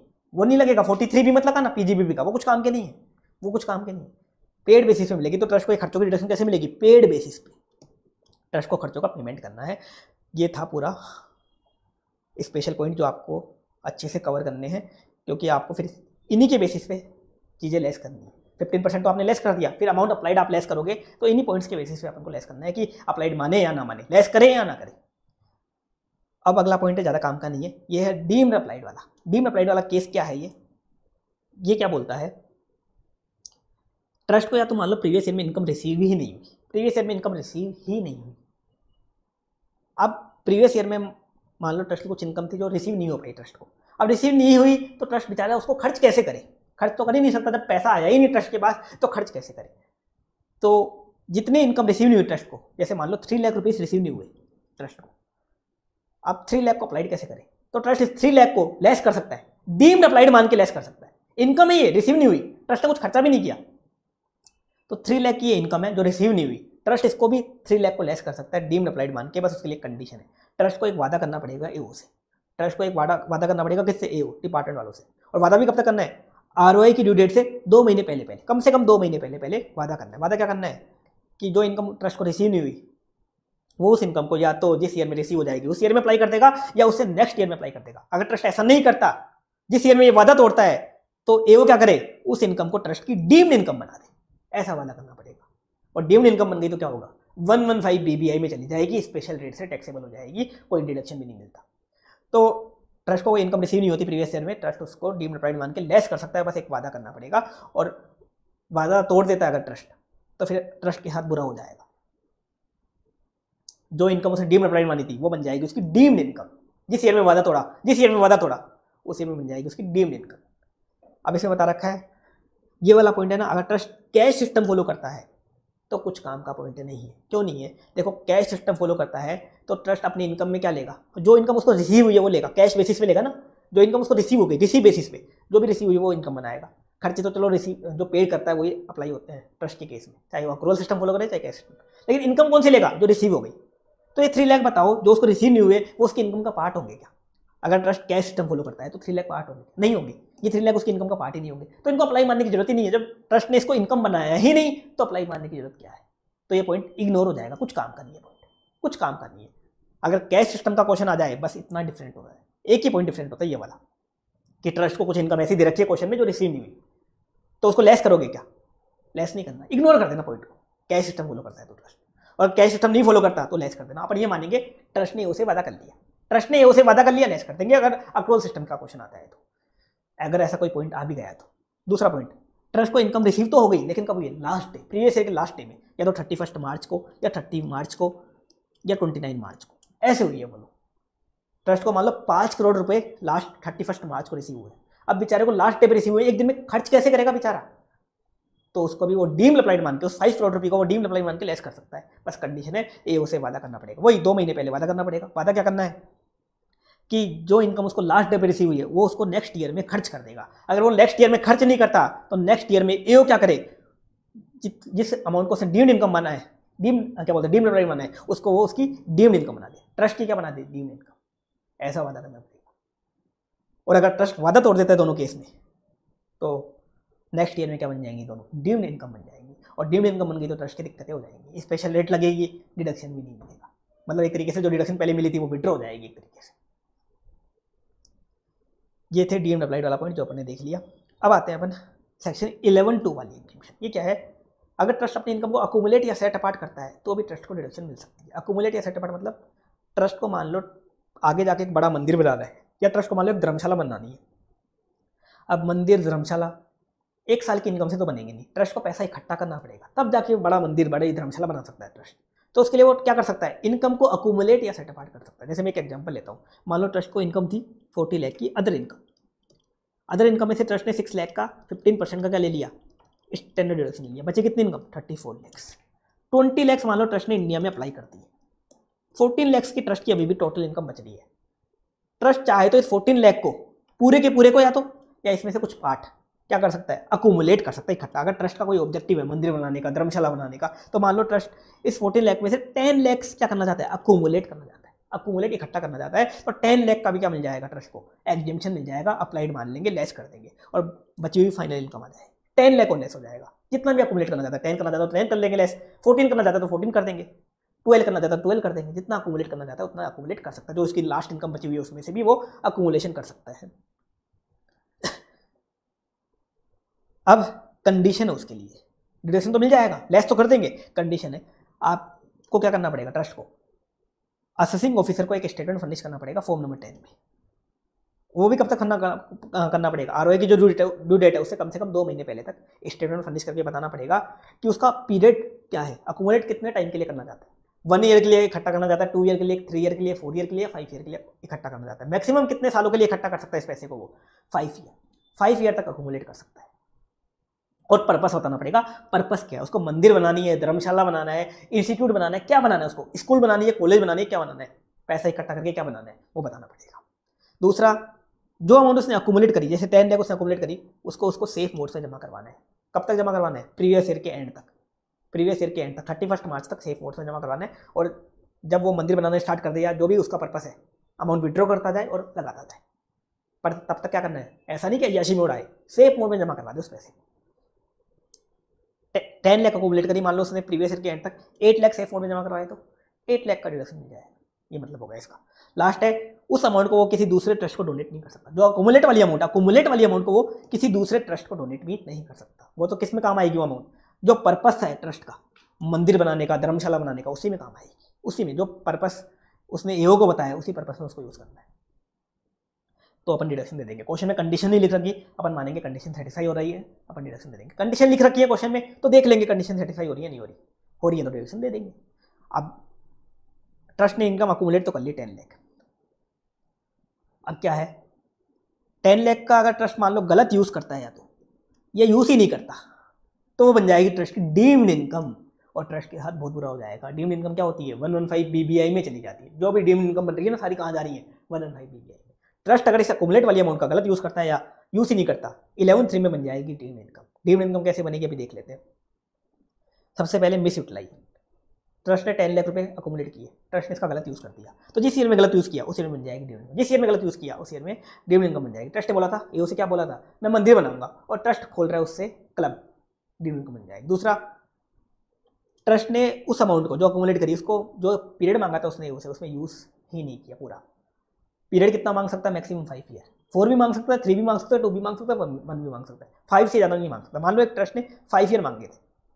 मान लो कैसे मांगे थे? एक एग्ज़ाम्पल लेता हूँ। ये मान लो केस है previous year twenty one twenty two का। ट्वेंटी वन ट्वेंटी टू में ट्रस्ट ने टेन लैख अकोमोडेट किए, मान लो एक बार। और ट्रस्ट ने फाइव ईयर मांगे थे कि फाइव ईयर में वो यूज़ करेगा। तो फाइव ईयर काउंट कैसे होंगे पहले? तो ये देखो। ट्वेंटी वन ट्वेंटी टू से काउंट होंगे क्या? नहीं। नेक्स्ट ईयर से। ट्वेंटी वन ट्वेंटी टू से इनकम अकोमुलेट करी है तो twenty two, twenty three twenty three, twenty four twenty four, twenty five twenty five, twenty six और ट्वेंटी सिक्स, ट्वेंटी सेवन। उसको कब तक खर्च करने हैं पैसे? ट्वेंटी सिक्स, ट्वेंटी सेवन तक खर्च करने हैं। पाँच साल में खर्च करने हैं। ट्वेंटी वन, ट्वेंटी टू में उसकी फोर्टीन लैख की इनकम आ रही थी। टेन लैख वो अकुमुलेट कर लिया ट्वेंटी वन, ट्वेंटी टू में। तो टेन लैख को उसको कब खर्च करना है? पाँच साल का टाइम होता है मैक्सिमम तो ट्वेंटी वन, ट्वेंटी टू से काउंट नहीं होंगे। ट्वेंटी टू, ट्वेंटी थ्री से काउंट होंगे। ट्वेंटी वन, ट्वेंटी टू तो अकुमुलेट कर रहा है। ट्वेंटी वन, ट्वेंटी टू तो जा चुका, खत्म हो चुका वो तो। उस ईयर में तो इनकम वो अकुमुलेट करी है उसने। तो ट्वेंटी टू ट्वेंटी थ्री से काउंट होंगे तो फाइव ईयर में उसको खर्च करने हैं। ट्वेंटी सिक्स ट्वेंटी सेवन तक मान लो उसने टेन लाख में से सेवन लाख रुपीज़ ही खर्च किए। तो क्या होगा? थ्री लाख की बन जाएगी ड्यू इनकम जितना अमाउंट उसका अनयूटिलाइज रहेगा जितना अमाउंट वो खर्च नहीं कर पाया, वो बन जाएगी उसकी ड्यू इनकम थ्री लाख क्या बन जाएगी? थ्री लाख ड्यू इनकम बन जाएगी। कब बनेगी? Twenty six twenty seven last year में। लास्ट ईयर में। जो भी स्पेसिफिक पीरियड ट्रस्ट ने मांगा था उसके लास्ट ईयर में। फाइव ईयर मांगे तो फिफ्थ ईयर में फोर ईयर मांगे तो फोर्थ ईयर में, तीन ईयर मांगे तो थर्ड ईयर में, दो ईयर मांगे तो सेकेंड ईयर में और एक ही साल मांगा तो फ़र्स्ट ईयर में बन जाएगी ड्यू इनकम जैसे मान लो इसे थ्री ईयर थ्री ईयर मांगे थे तो थ्री ईयर कौन से होगा? Twenty four twenty five twenty four twenty five में मिल जाएगी ड्यू इनकम दो ईयर मांगे तो ट्वेंटी थ्री ट्वेंटी फोर में मिल जाएगी ड्यू इनकम जितने भी ईयर मांगे थे, उस ईयर में उसको खर्च करना है पैसा। उतने सालों में वो पैसा खर्च नहीं करता तो जो लास्ट ईयर है। जितने भी मांगे थे उसका जो लास्ट ईयर है, उसमें वो बन जाएगी ड्यू इनकम आगे बता रखा है, उस अमाउंट को ट्रस्ट आगे जाके किसी दूसरे ट्रस्ट को डोनेट कर देता है तो जितना डोनेट किया दूसरे ट्रस्ट को, वो बन जाएगी उसकी ड्यू इनकम देखा था ना मैंने डोनेट नहीं कर सकता किसी दूसरे ट्रस्ट को। उस अमाउंट को, कौन सी अमाउंट को? अकूमुलेट वाली अमाउंट को। उसको तो जो पर्पस है उसी में यूज़ करना है। डोनेट वगैरह नहीं करना, दान वगैरह नहीं देना किसी को। और लास्ट बता रखा है, उस अमाउंट को ट्रस्ट क्या करता है? सेफ़ मोड से विड्रॉ करके कहीं और रिस्की मोड में इन्वेस्ट कर देता है शेयर्स वगैरह में इन्वेस्ट कर देता है, ऐसा काम कर देता है। तो ऐसा, जिस ईयर में ऐसा कांड किया, उस ईयर में बन जाएगी उसकी डिविडेंड इनकम वो अमाउंट सेफ़ मोड में रहनी चाहिए। जब उसको मंदिर बनाने में यूज़ करना है, तब विड्रॉ करे और लगाता रहे पैसा। ऐसा करना है उसको। तो गलत यूज़ करता है या तो या यूज़ ही नहीं करता तो बन जाएँगे डिविडेंड इनकम ये अपन ने देख लिया, अब अपन आगे बढ़ते हैं।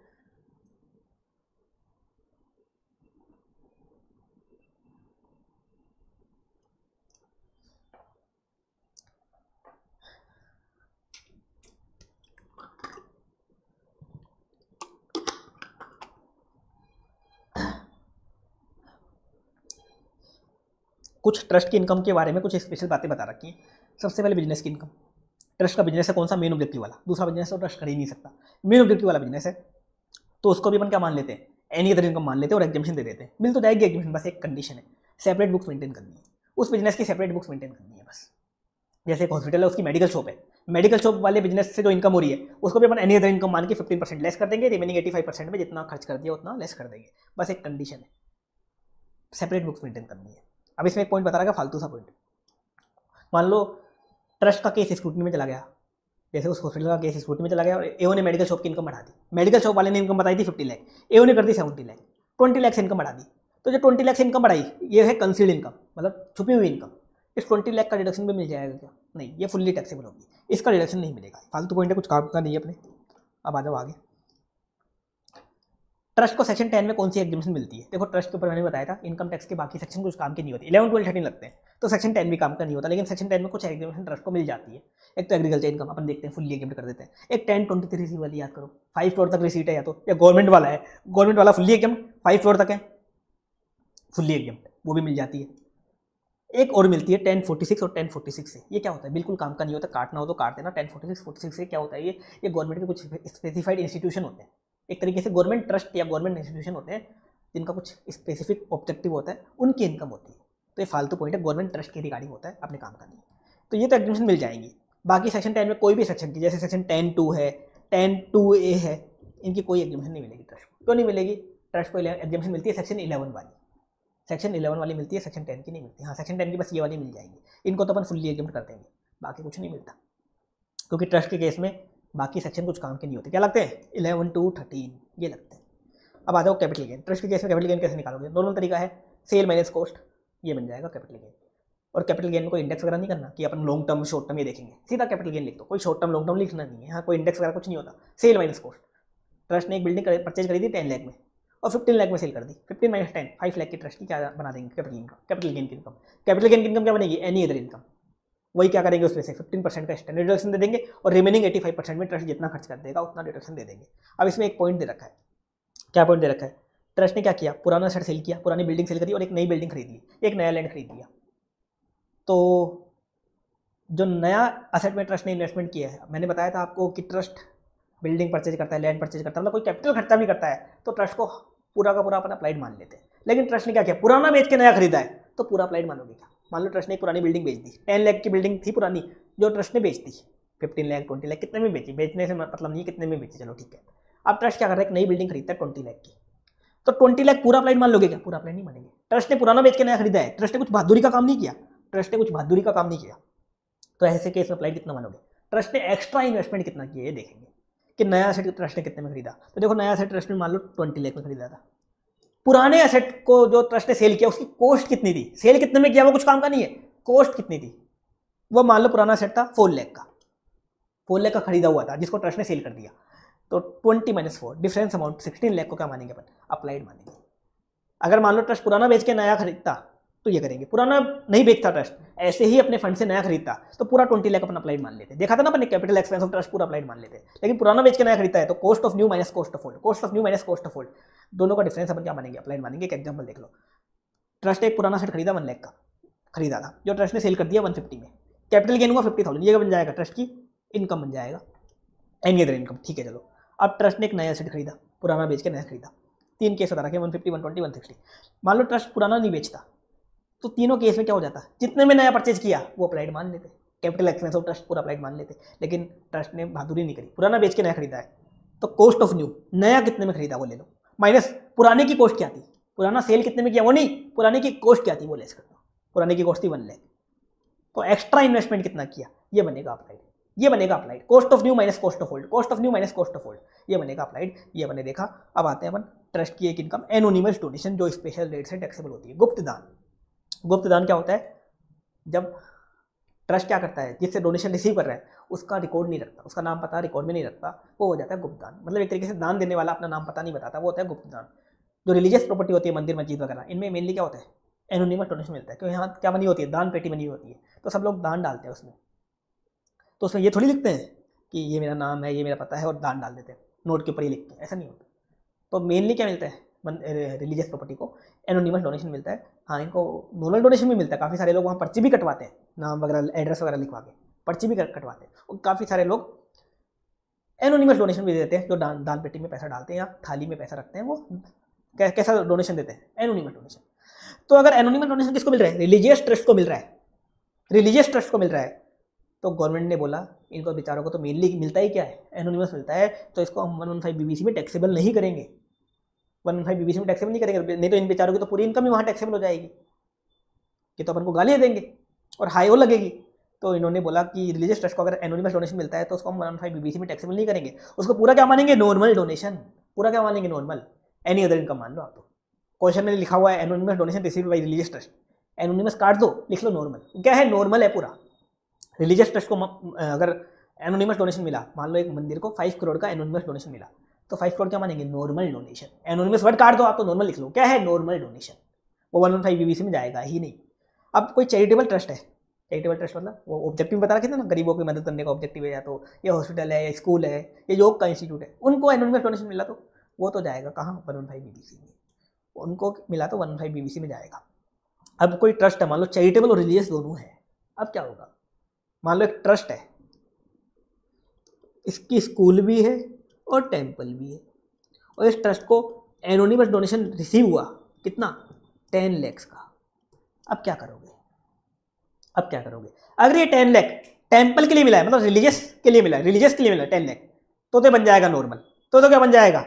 नॉर्मल डोनेशन लेकिन अगर ये मान लो टेन लैख स्कूल वगैरह के लिए या हॉस्पिटल वगैरह के लिए मिला है तो बन जाएगा वन वन फाइव बी वाला एनोनिमस तो तो वन वन फाइव बी में चला जाएगा। और अगर इस टेंपल के लिए मिला है तो क्या मान लेंगे? नॉर्मल मान लेंगे। मान लो टेन लैख में ऐसा है। टू लैख तो स्कूल के लिए मिला और एट लैख टेंपल के लिए। तो एट लैख तो बन जाएगा अपना। नॉर्मल। एट लैख को तो सीधा क्या लिख देंगे? Normal donation. एनोनिमस काट के क्या लिख देंगे? नॉर्मल। और बाकी बचा हुआ टू लैख, ये चला जाएगा वन वन फाइव बीबीसी में। वन वन फाइव बीबीसी में चला जाएगा। अब वन वन फाइव बीबीसी में जो एनोनिमस डोनेशन जाएगा, ये टैक्सेबल कितना होगा? ये पूरा नहीं होगा। यहाँ भी छूट दे रखी है। एक छूट दे रखी है, एक लिमिट दे रखी है। क्या दे रखी है? अभी देखते हैं तो आप क्या करो ये लिमिट निकालने के लिए सबसे पहले तो लोग एनोनिमस डोनेशन कितना मिला? जैसे मान लो एनोनिमस डोनेशन आपको मिला फाइव लैख का, वो लो कौन सा लोगे? मंदिरों को मिला वो लोगे केस में वो मत ले लेना। वो तो नॉर्मल बन गया, वो तो मैंने पहले एनोनिमस कार्ड के नॉर्मल लिख लिया, वो तो नॉर्मल मानेंगे। चैरिटेबल ट्रस्ट को जो एनोनिमस डोनेशन मिला चैरिटेबल ट्रस्ट को चैरिटेबल वालों को जो एनोनिमस मिला, वो मान लो एक ट्रस्ट है जिसकी स्कूल भी है और टेंपल भी है। तो एनोनिमस डोनेशन जो स्कूल को मिला है ना, वो वाला पार्टी लेना। मंदिर वाला मत लेना। मंदिर वाला तो क्या है? नॉर्मल मान लिया, पहले ही क्या मान लिया नॉर्मल? तो एनोनिमस डोनेशन रिसीव जो रिसीव वो ले लो। अभी इसमें से एक लिमिट लेस करेंगे। लिमिट क्या है? लिमिट ध्यान से देखना। Five percent of total donation receive उस ट्रस्ट को जितना भी डोनेशन रिसीव हुआ टोटल ले लो। मान लो ट्रस्ट की स्कूल टेंपल दो चीज़ें हैं। तो स्कूल टेंपल में जितना भी डोनेशन रिसीव हुआ है स्कूल के लिए भी टेंपल के लिए भी, सबका टोटल कर दो आप। पूरा टोटल ले लो। Total donation receive total donation receive में क्या लेना आपको? जो नॉर्मल डोनेशन मिला, वो भी ले लो। कॉर्पस मिला, वो भी ले लो। और एनोनिमस मिला, वो भी ले लो। जितना भी टोटल रिसीव हो रखा है, पूरा रिसीव और ध्यान देना कौन सा लेना रिसीव वाला। ट्रस्ट मान लो डोनेशन गिवन है। ट्रस्ट डोनेशन दे रहा है। Donation given to other trust donation paid to other trust वो लोग है क्या? वो मत ले लेना। डोनेशन रिसीव्ड काफ़ी सारे लोग इसमें डाउट पूछते हैं। रिसीव्ड वाला डोनेशन लेना है। ट्रस्ट अगर किसी दूसरे ट्रस्ट को डोनेशन दे रहा है गिवन वाला नहीं लेना। डोनेशन रिसीव्ड वाला। जो ट्रस्ट को डोनेशन मिला है, जो ट्रस्ट की इनकम है डोनेशन चाहे नॉर्मल हो, चाहे कॉर्पस हो, चाहे एनोनिमस कॉर्पस डोनेशन चाहे आप सेफ़ फ़ोन में इन्वेस्ट करो, चाहे ना करो। लेना है। चाहे फुल्ली एजेंट वाला कॉर्पस डोनेशन हो, चाहे वन वन फाइव बीबीआई वाला, कोई सा भी हो, पूरा लेना है, पूरा लेना है रिसीव वाला। तो नॉर्मल कॉर्पस एनोनिमस तीनों लेने डोनेशन रिसीव लेना है, और ध्यान देना, इस डोनेशन रिसीव का क्या करना है आपको फिर? फाइव परसेंट करना है। मान लो इस ट्रस्ट को फोर्टी लाख का टोटल डोनेशन रिसीव हुआ था फोर्टी लाख तो फोर्टी लाख का कर दो आप फाइव परसेंट कितना आया? टू लाख आया। इसको कंपेयर करो आप वन लैख से। किससे कंपेयर करना है? वन लैख से। फिक्स फिक्स है वन लैख इन दोनों का ले लो हायर हायर क्या आया? टू लैख ये आ गई टू लैख की लिमिट ये लेस कर दो। एनोनिमस डोनेशन रिसीव में से टू लैख की लिमिट लेस कर दो, बचा कितना? थ्री लैख का आ गया आपका। एनोनिमस डोनेशन जो वन वन फाइव बीबीसी में थर्टी परसेंट की स्पेशल रेट से सेपरेटली टैक्सेबल होगा। कोई डिडक्शन नहीं मिलेगा। थर्टी परसेंट से टैक्सेबल होगा। तो आप बोलोगे एनोनिमस डोनेशन तो पाँच लाख का मिला था। थ्री लैख क्या हो गया? टू लैख कहाँ गया? तो टू लैख था, जो लिमिट आई थी लिमिट जो लिमिट लेस करी थी टू लैख इसे मन मानेंगे नॉर्मल डोनेशन इसे क्या मानेंगे? नॉर्मल डोनेशन इसे मानेंगे नॉर्मल डोनेशन मतलब कुल मिला के क्या है? एनोनिमस डोनेशन देखो अगर रिलीजियस ट्रस्ट को मिलता है, या मंदिरों के लिए, या मस्जिदों के लिए, इनके लिए मिलता है तो वो तो पूरा नॉर्मल मिल जाता है। लेकिन चैरिटेबल के लिए मिलता है, चैरिटेबल के लिए। चैरिटेबल ट्रस्ट को मिलता है। तो उसमें क्या होता है? दो टुकड़े होते हैं। दो टुकड़े। कुछ तो क्या होता है? वन वन फाइव में चला जाता है और कुछ नॉर्मल माना जाता है। लिमिट तक तो क्या माना जाता है? नॉर्मल। लिमिट क्या है? उस ट्रस्ट को, उस चैरिटेबल ट्रस्ट को अगर टोटल डोनेशन का फाइव परसेंट तक मिलता है, फाइव परसेंट तक, फाइव परसेंट तक मिलता है, कोई दिक्कत नहीं है। पूरा मान लो नॉर्मल। पूरा मान लो नॉर्मल, फाइव परसेंट तक। लेकिन फाइव परसेंट से जितना ज़्यादा मिला, जितना ज़्यादा मिला एक्सेस वाला बनता है एनोनिमस एक्सेस वाला टैक्सेबल होता है। तो मान लो इस ट्रस्ट को अगर टू लैख मिला होता। एनोनिमस डोनेशन कितना मिला होता? टू लैख। तो two lakh minus two lakh. Anonymous donation taxable कितना होता? नील होता। पूरा टू लैख बन जाता नॉर्मल तो बाकी ट्रस्ट के लिए चैरिटेबल ट्रस्ट के लिए क्या कर दिया? दो टुकड़े कर दिए एनोनिमस के। लिमिट तक तो मान लो नॉर्मल और बाकी मान लो एनोनिमस लिमिट क्या है? Five percent of total donation receive और one lakh five percent of total donation receive और वन लैख इन दोनों का हाइयर तो anonymous donation receive minus limit करेंगे। ये आ जाएगा एनोनिमस डोनेशन जो वन वन फाइव बीबीसी में स्पेशल रेट से टैक्सेबल होगा। और ये वाला पॉइंट हर क्वेश्चन में आपको मिलेगा। जो टोटल इनकम के जो क्वेश्चन होंगे ना, हर पॉइंट हर क्वेश्चन में ये वाला पॉइंट मिलेगा। इस पॉइंट को अच्छे से देख लेना। अब इसमें एक ध्यान देना। क्वेश्चन में कभी कभी ट्रस्ट को मिला हुआ होता है गवर्नमेंट ग्रांट मैंने बताया था ट्रस्ट को गवर्नमेंट ग्रांट भी मिलते हैं। गवर्नमेंट ग्रांट नॉर्मल वाला भी कॉर्पस वाला भी, ये मिलते हैं ट्रस्ट को। ये भी ट्रस्ट की इनकम होते हैं। तो गवर्नमेंट ग्रांट को भी इस लिमिट की कैलकुलेशन में लेना है क्या? लिमिट की कैलकुलेशन में गवर्नमेंट ग्रांट को भी लेना है क्या? देखो प्रोविज़न में वर्ड क्या है यहाँ पे डोनेशन वर्ड है। प्रोविज़न में वर्ड है डोनेशन डोनेशन और गवर्नमेंट ग्रांट सेम होते हैं क्या? नहीं होते सेम डोनेशन होता है दान. गवर्नमेंट क्या ग्रांट क्या होता है? गवर्नमेंट आपको मदद करती है. गवर्नमेंट आपको दान नहीं देती. अगर आप कुछ कंडीशन पूरी कर देते हो तो गवर्नमेंट फिर आपकी मदद करती है. वो होते हैं गवर्नमेंट ग्रांट, गवर्नमेंट असिस्टेंस वो होती है गवर्नमेंट ग्रांट. तो दान अलग चीज़ है, गवर्नमेंट ग्रांट अलग चीज़ है. गवर्नमेंट ग्रांट कब मिलते हैं? जब आप कुछ कंडीशन पूरी कर देते हो. गवर्नमेंट ने आपसे कुछ काम करवाया, कुछ कंडीशन करवाई, वो पूरी करी, तब मिलते हैं. और दान तो ऐसे ही मिलता है. दान और गवर्नमेंट ग्रांट, दोनों चीज़ें अलग होती हैं. अगर आप सर्च भी करोगे गूगल पे, अलग होगी। तो प्रोविज़न में यहाँ डोनेशन बढ़े। तो गवर्नमेंट ग्रांट अगर आपको दे रखा है क्वेश्चन में कि गवर्नमेंट ग्रांट ट्रस्ट को रिसीव हो रखा है फाइव लैख का तो इस लिमिट की कैलकुलेशन में लोगे क्या? मत लेना। चाहे नॉर्मल हो, चाहे कॉर्पस हो, कोई सा भी गवर्नमेंट ग्रांट नहीं लेना। यहाँ खाली डोनेशन बढ़े। तो नहीं लेना। इंस्टीट्यूट में नहीं लेता। लेकिन क्या है? ट्रस्ट की आईटीआर जाती है ना जो, उस आईटीआर में इस लिमिट की कैलकुलेशन में वहाँ गवर्नमेंट ग्रांट का ऑप्शन भी दे रखा है गवर्नमेंट ग्रांट का। मतलब वहाँ गवर्नमेंट ग्रांट आप ले सकते हो, लेना चाहो तो। ऑप्शन दे रखा है वहाँ पे। तो तो आई टी आर अपन फॉलो करें क्या? या प्रोविज़न फॉलो करें? फॉलो तो अपन को प्रोविज़न करना है। आई भूल जाओ। इंस्टीट्यूट क्या करता है? प्रोविज़न फॉलो करता है? नहीं लेता गवर्नमेंट ग्रांट फ़र्स्ट अल्टरनेटिव में। कभी कभार इंस्टीट्यूट क्या करता है? अल्टरनेटिव आंसर दे देता है। कैसे देता है? पहला मेन आंसर तो क्या करता है इंस्टीट्यूट गवर्नमेंट ग्रांट को इग्नोर करके लिमिट निकालता है। फिर एक अल्टरनेटिव बस आंसर नहीं देता, एक नोट देता है। एच पर आईटीआर चाहो तो आप गवर्नमेंट ग्रांट भी ले सकते हो। बस इतना नोट देता है। तो आपको क्या करना है? इग्नोर करना है। गवर्नमेंट ग्रांट को इस लिमिट की कैलकुलेशन में नहीं लेना। क्योंकि इंस्टीट्यूट अल्टरनेटिव आंसर भी पूरा कैलकुलेट करके नहीं देता। कि पूरा कैलकुलेट करके दे रहा है। बस एक एक लाइन का नोट दे देता है। तो इंस्टीट्यूट लेता नहीं है इसको। ये मान के अपन को भी इग्नोर करना है। अपन को भी प्रोविज़न के अकॉर्डिंग चलना है। आईटीआर के अकॉर्डिंग नहीं चलना आईटीआर में कुछ भी लिखा वो आई को फॉलो नहीं करना अपन क्या चलना है? प्रोविज़न के अकॉर्डिंग क्योंकि, क्यों चलेंगे ऐसे? क्योंकि इंस्टीट्यूट जो फॉलो करता है अपन को वही फॉलो करना है मार्क्स चाहिए तो। बाकी मार्क्स नहीं चाहिए तो आप कुछ भी कर सकते हो। बाकी अगर आप अल्टरनेटिव आंसर दोगे तो वैसे टाइम लग जाएगा। अगर आप मान लो दो आंसर करके आते हो तो एग्ज़ाम में काफ़ी टाइम लग जाएगा। इतना टाइम होता नहीं है। हाँ चाहो तो आप एक नोट दे सकते हो कि गवर्नमेंट ग्रांट को भी लिया जा सकता था एच पर आई ये नोट दे सकते हो ले, लेना चाहो तो। बाकी आपको गवर्नमेंट ग्रांट कैलकुलेशन में नहीं लेना। क्योंकि काफ़ी सारे टीचर क्या होते हैं बोलते हैं कि गवर्नमेंट ग्रांट ले लो आई के अकॉर्डिंग करवाते हैं वो। लेकिन इंस्टीट्यूट के अकॉर्डिंग अपन चले और प्रोविज़न के अकॉर्डिंग चले तो नहीं लेना। अब अपन आगे आ जाते हैं। थोड़े प्रोसीजर प्रोसीजर वाले पार्ट पे आते हैं।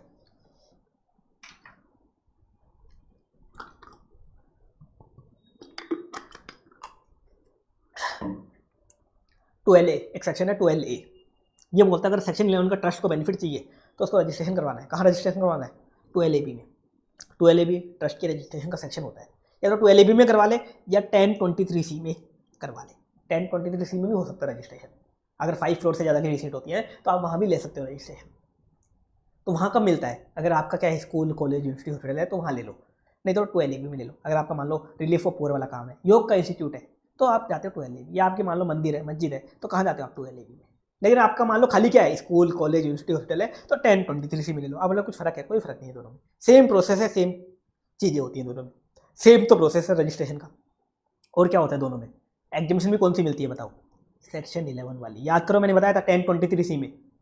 फाइव करोड़ से ज़्यादा रिसीट हो गई। क्या मिलता है? सेक्शन इलेवन मिलता है। और ट्वेल्व बी में करोगे तो भी क्या मिलेगा? सेक्शन इलेवन मिलेगा। तो दोनों में सेम चीज़ मिलती है सेम बेनिफिट मिलता है और सेम ही क्या मिलता है आपको? एग्जामेशन मिलता है और सेम प्रोसेस है रजिस्ट्रेशन लेने का। बस फ़र्क इतना है कि किसी ट्रस्ट की मान लो खाली स्कूल कॉलेज यूनिवर्सिटी हॉस्पिटल है या मान लो किसी बंदे ने खाली स्कूल वगैरह खोल रखी है तो वो तो टेन ट्वेंटी थ्री सी का रजिस्ट्रेशन ले लेते हैं। लेकिन किसी ट्रस्ट की मान लो मंदिर वगैरह है या स्कूल के साथ मंदिर भी है या मान लो स्कूल के साथ योग का इंस्टीट्यूट भी है, वो सब कहाँ जाते हैं? वो टू एल में जाते हैं। बस ये फ़र्क है। ये ज्ञान देने के लिए मैंने बता दिया, ऐसा कुछ पूछेगा नहीं। अब आगे बता रखा है, दूसरी कंडीशन ट्रस्ट की अगर टोटल इनकम सेक्शन इलेवन का एग्जामेशन लेने से पहले सेक्शन इलेवन को लेस करने से पहले बेसिक एग्जामेशन लिमिट से ज़्यादा आ रही है. बेसिक एग्जामेशन लिमिट पढ़ रखी है ना अपन ने? ढाई लाख, तीन लाख वाली. उससे ज़्यादा आ रही है. तो ट्रस्ट को बुक्स भी मेंटेन करनी है और ऑडिट भी करवानी है. ऑडिट करवा के ऑडिट रिपोर्ट फर्निश करनी है तो ही एग्जामेशन मिलेगी. अगर ट्रस्ट बुक्स मेंटेन नहीं करता या ऑडिट नहीं करवाता ट्रस्ट को एग्जामेशन मिलेगी ही नहीं. और आगे बता रहा था ट्रस्ट को अपनी आरओआई ड्यू डेट तक फ़ाइल करनी है तो ही एग्जामेशन मिलेगी. ट्रस्ट ने अगर आप अपनी आर लेट फ़ाइल करी तो एग्जामेशन नहीं मिलेगी. ये कुछ कंडीशन है. बुक्स मेंटेन करनी है ऑडिट करवानी है आर ओ ड्यू डेट तक फ़ाइल करनी है, और ट्रस्ट रजिस्टर्ड होना चाहिए।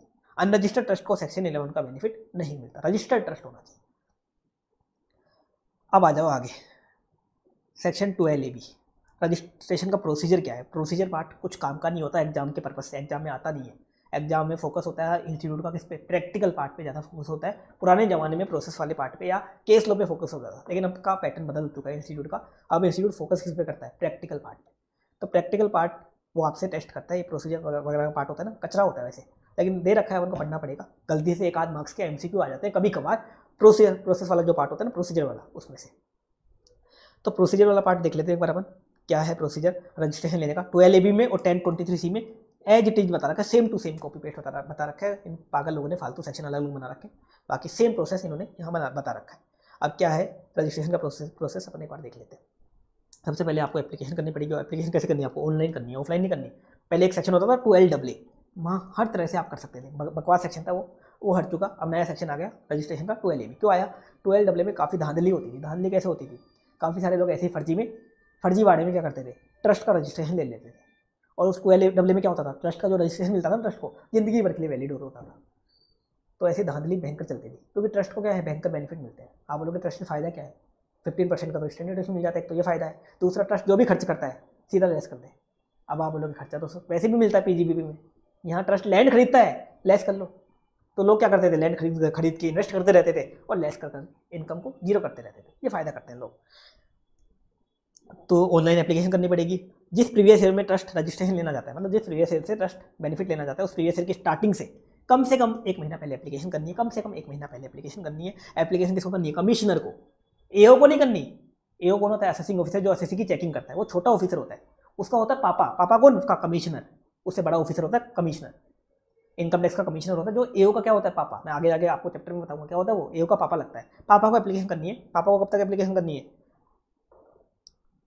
वन मंथ में एप्लीकेशन करनी है। आपको जिस ईयर में आप रजिस्ट्रेशन लेना चाहते हो, उस ईयर के स्टार्टिंग से एक महीना पहले पहले। अब पापा क्या करेगा? पापा आपको स्टार्टिंग में वन मंथ के अंदर अंदर आपको अप्रूवल दे देगा।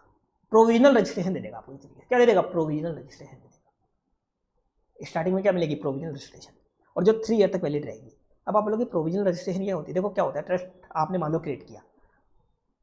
अब आपका पर्पस है गरीबों की मदद करने का। अभी आपने अपना काम स्टार्ट नहीं किया। गरीबों की मदद करना स्टार्ट नहीं किया। आप पहले एप्लीकेशन करते हो।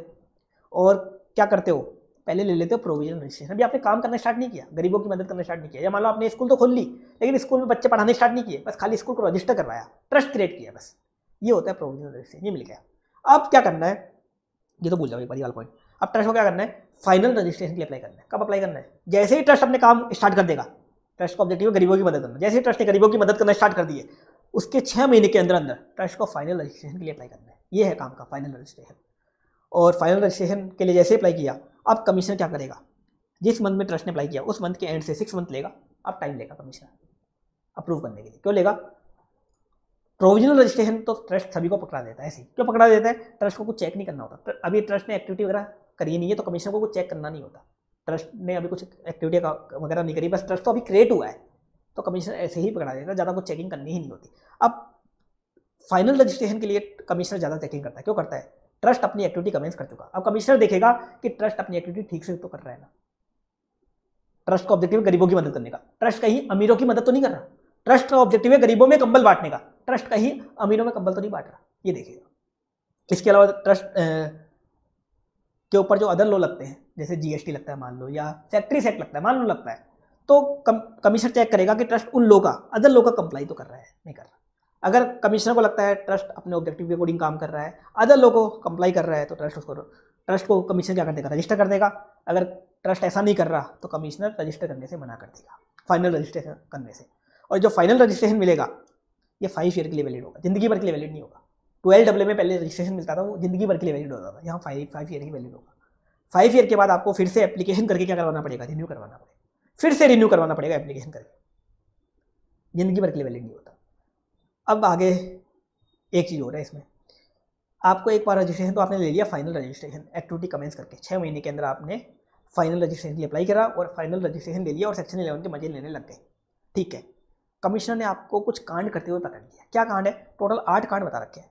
इनमें से कोई कांड करते हुए कमिश्नर ने आपको पकड़ लिया। आठ कांड है टोटल इनमें से कुछ कांड करते हुए कमिश्नर ने आपको पकड़ लिया। कोई सा भी कांड करते हुए। कमिश्नर क्या कर देगा? आपके रजिस्ट्रेशन को कैंसिल कर देगा। अगर आप का कोई भी कांड पकड़ा गया। कौन सा कांड पकड़ा गया? पहला कांड बता रखा है ट्रस्ट अपनी इनकम को ऑब्जेक्ट के जगह का योग लगाता है। जैसे मान लो ट्रस्ट का ऑब्जेक्टिव था, योग की शिक्षा देने का। और ट्रस्ट क्या करता है? डांस खोल रखा है। डांस सिखा रहा है। Registration cancel. दूसरा, ट्रस्ट की कोई बिज़नेस की इनकम है, और बिज़नेस भी कैसा है? मेन ऑब्जेक्टिव वाला नहीं है। मेन ऑब्जेक्टिव वाला तो ठीक है, लेकिन मेन ऑब्जेक्टिव वाला बिज़नेस नहीं है। मान लो, ट्रस्ट का एक हॉस्पिटल है, और हॉस्पिटल ने दारू की दुकान खोल रखी है, रजिस्ट्रेशन कैंसिल हो जाएगा। तीसरा, ट्रस्ट का बिज़नेस तो ऑब्जेक्टिव वाला है, पर ट्रस्ट ने उसकी सेपरेट बुक्स मेंटेन नहीं करी उस बिज़नेस की। हॉस्पिटल है मेडिकल की शॉप खोल रखी है, दिक्कत नहीं है, कोई दिक्कत नहीं है। लेकिन मेडिकल शॉप की सेपरेट बुक्स मेंटेन नहीं करी, रजिस्ट्रेशन कैंसिल। अगला बता रखा है ट्रस्ट ने इनकम को प्राइवेट रिलीजियस पर्पज पे खर्च कर दिया। मतलब ट्रस्ट ने एक मंदिर बनवाया, जहाँ ऐसा बोल दिया कि खाली उसके घर वाले दर्शन कर सकते हैं या खाली खास लोग दर्शन कर सकते हैं। या ट्रस्ट ने एक कथा करवाई और बोल दिया कि इसमें खाली खास लोग आ सकते हैं। रजिस्ट्रेशन कैंसिल क्यों? जो ट्रस्ट बनते हैं ना रजिस्टर्ड ट्रस्ट चैरिटेबल ट्रस्ट या रिलीजियस ट्रस्ट ये पब्लिक के ट्रस्ट होते हैं। पब्लिक हो के होते हैं ये। तो प्राइवेट नहीं बना सकते। प्राइवेट होते हो तो अनरजिस्टर्ड हो जाते हैं। तो रजिस्ट्रेशन कैंसिल हो जाएगा। आगे बता रखा है ट्रस्ट ने अपनी इनकम को पार्टिकुलर कास्ट या कम्युनिटी में लगा दिया।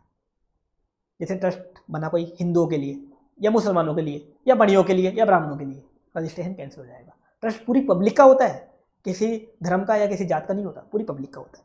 आगे बता रखा है, ट्रस्ट की एक्टिविटीज़ जेन्यून नहीं है, या ट्रस्ट अपने ऑब्जेक्टिव के अगेंस्ट में काम करता है। जैसे ट्रस्ट का ऑब्जेक्टिव था गरीबों की मदद करने का, लेकिन ट्रस्ट अमीरों की मदद कर रहा है। गरीबों में कंबल बांटने की जगह वो अमीरों को कंबल बांट रहा है, रजिस्ट्रेशन कैंसिल हो जाएगा। आगे बता रखा है, ट्रस्ट अदर लोगों का कंप्लाई नहीं करता। ट्रस्ट के ऊपर जीएसटी एक्ट लगता है, लेकिन ट्रस्ट जीएसटी एक्ट को कंप्लाई नहीं कर रहा।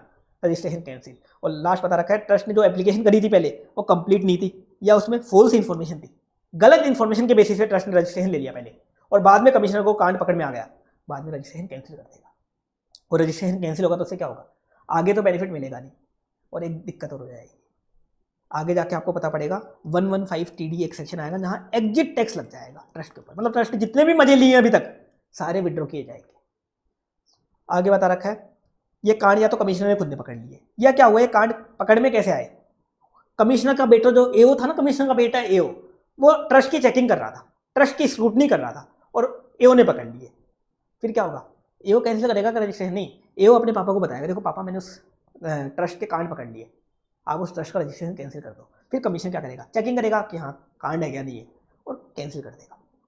अगला बता रखा है, ये कार्ड पकड़ में कैसे आए? रिस्क मैनेजमेंट स्ट्रेटेजी बना रखी है कुछ। सी वालों ने मतलब एक तरीके से आर्टिफिशियल इंटेलिजेंस आजकल काफ़ी सारी टेक्नोलॉजी आ गई, उसके थ्रू कोई कार्ड पकड़ में आ गया ट्रस्ट का। रजिस्ट्रेशन क्या हो जाएगा कैंसिल हो जाएगा। इसके बाद एक पॉइंट और है। ट्रस्ट मान लो अपने ऑब्जेक्ट मॉडिफाई कर रहा है। ट्रस्ट का ऑब्जेक्ट था गरीबों की मदद करने का रिलीफ ऑफ़ पुअर का। ट्रस्ट ने उसको चेंज करके कर दिया एजुकेशन कर सकता है क्या ट्रस्ट हाँ कर सकता है। लेकिन उसको फ्रेश रजिस्ट्रेशन लेना पड़ेगा। नए ऑब्जेक्टिव के बेस पे ट्रस्ट को थर्टी डेज़ के अंदर अंदर फ्रेश रजिस्ट्रेशन के लिए अप्लाई करना पड़ेगा। नहीं तो ट्रस्ट का रजिस्ट्रेशन कैंसिल हो जाएगा। पुराने रजिस्ट्रेशन से काम नहीं चला सकता कि ट्रस्ट को ऑब्जेक्टिव मान लो है रिलीफ ऑफ़ पुअर का। और ट्रस्ट ने उसके बेसिस से रजिस्ट्रेशन ले रखा है। अब ट्रस्ट अपना ऑब्जेक्ट चेंज कर रहा है। रिलीफ ऑफ़ पुअर से एजुकेशन कर रहा है। कर तो सकता है, लेकिन उसको फ्रेश रजिस्ट्रेशन न्यू रजिस्ट्रेशन देना पड़ेगा थर्टी डेज़ के अंदर अंदर। ये था सेक्शन ट्वेल्व और ट्वेल्व ए भी जो अपने देख लिया प्रोसेस वाला पार्ट अब सेक्शन थर्टीन देखते हैं। सेक्शन थर्टीन सबसे पहले बता रखा है, कुछ केस में आपको सेक्शन इलेवन की बेनिफिट नहीं मिलेगा। कौन कौन से केस बता रखे हैं? ऊपर के दो केस तो फालतू है काट दो। दो केस क्या है? ट्रस्ट पार्टिकुलर रिलीजियस पर्पस में अपनी इनकम खर्च करता है या तो या किसी कास्ट या कम्युनिटी में खर्च करता है, जो अपन ने ऊपर देखे थे ऊपर। इन दो केस में तो क्या होगा, रजिस्ट्रेशन ही कैंसिल हो जाएगा तो एग्जीबिशन तो भूल ही जाओ, कहाँ मिलेगा? तो दो पॉइंट तो यहाँ फालतू दे रखे कुछ काम के लिए। जब रजिस्ट्रेशन ही कैंसिल होगा तो एग्जीबिशन मिलेगा ही कहाँ तो ये कुछ काम के नहीं अब दो पॉइंट जो है, ये काम के दो और केस बता रखें जहाँ आपको सेक्शन इलेवन का बेनिफिट नहीं मिलेगा। पहला केस ट्रस्ट अपनी इनकम से अपने रिलेटेड पर्सन को फ़ायदा पहुँचाता है।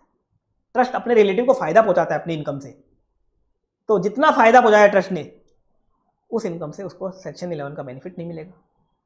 कौन सा फ़ायदा पहुँचाया? अभी देखो मैं बताता हूँ आपको। ट्रस्ट क्या कर रहा है? मान लो, अपने रिलेटिव को सैलरी का पेमेंट कर रहा है। रिलेटिव होते हैं ट्रस्ट ट्रस्टी वगैरह क्या होते हैं, अभी पता चल जाएगा आपको। सैलरी कितना पेमेंट कर रहा है? फाइव लैख का। अब इस रिलेटिव की जो औकात है ना, इस रिलेटिव की मार्केट वैल्यू में बताऊँ तो वो है वन लैख की। और ट्रस्ट सैलरी कितना दे रहा है? फाइव लैख मतलब फोर लैख का फ़ायदा पहुँचा दिया रिलेटिव को। जिस रिलेटिव की औकात वन लैख की है, उसको फाइव लैख दे रहा है ट्रस्ट तो क्या होगा?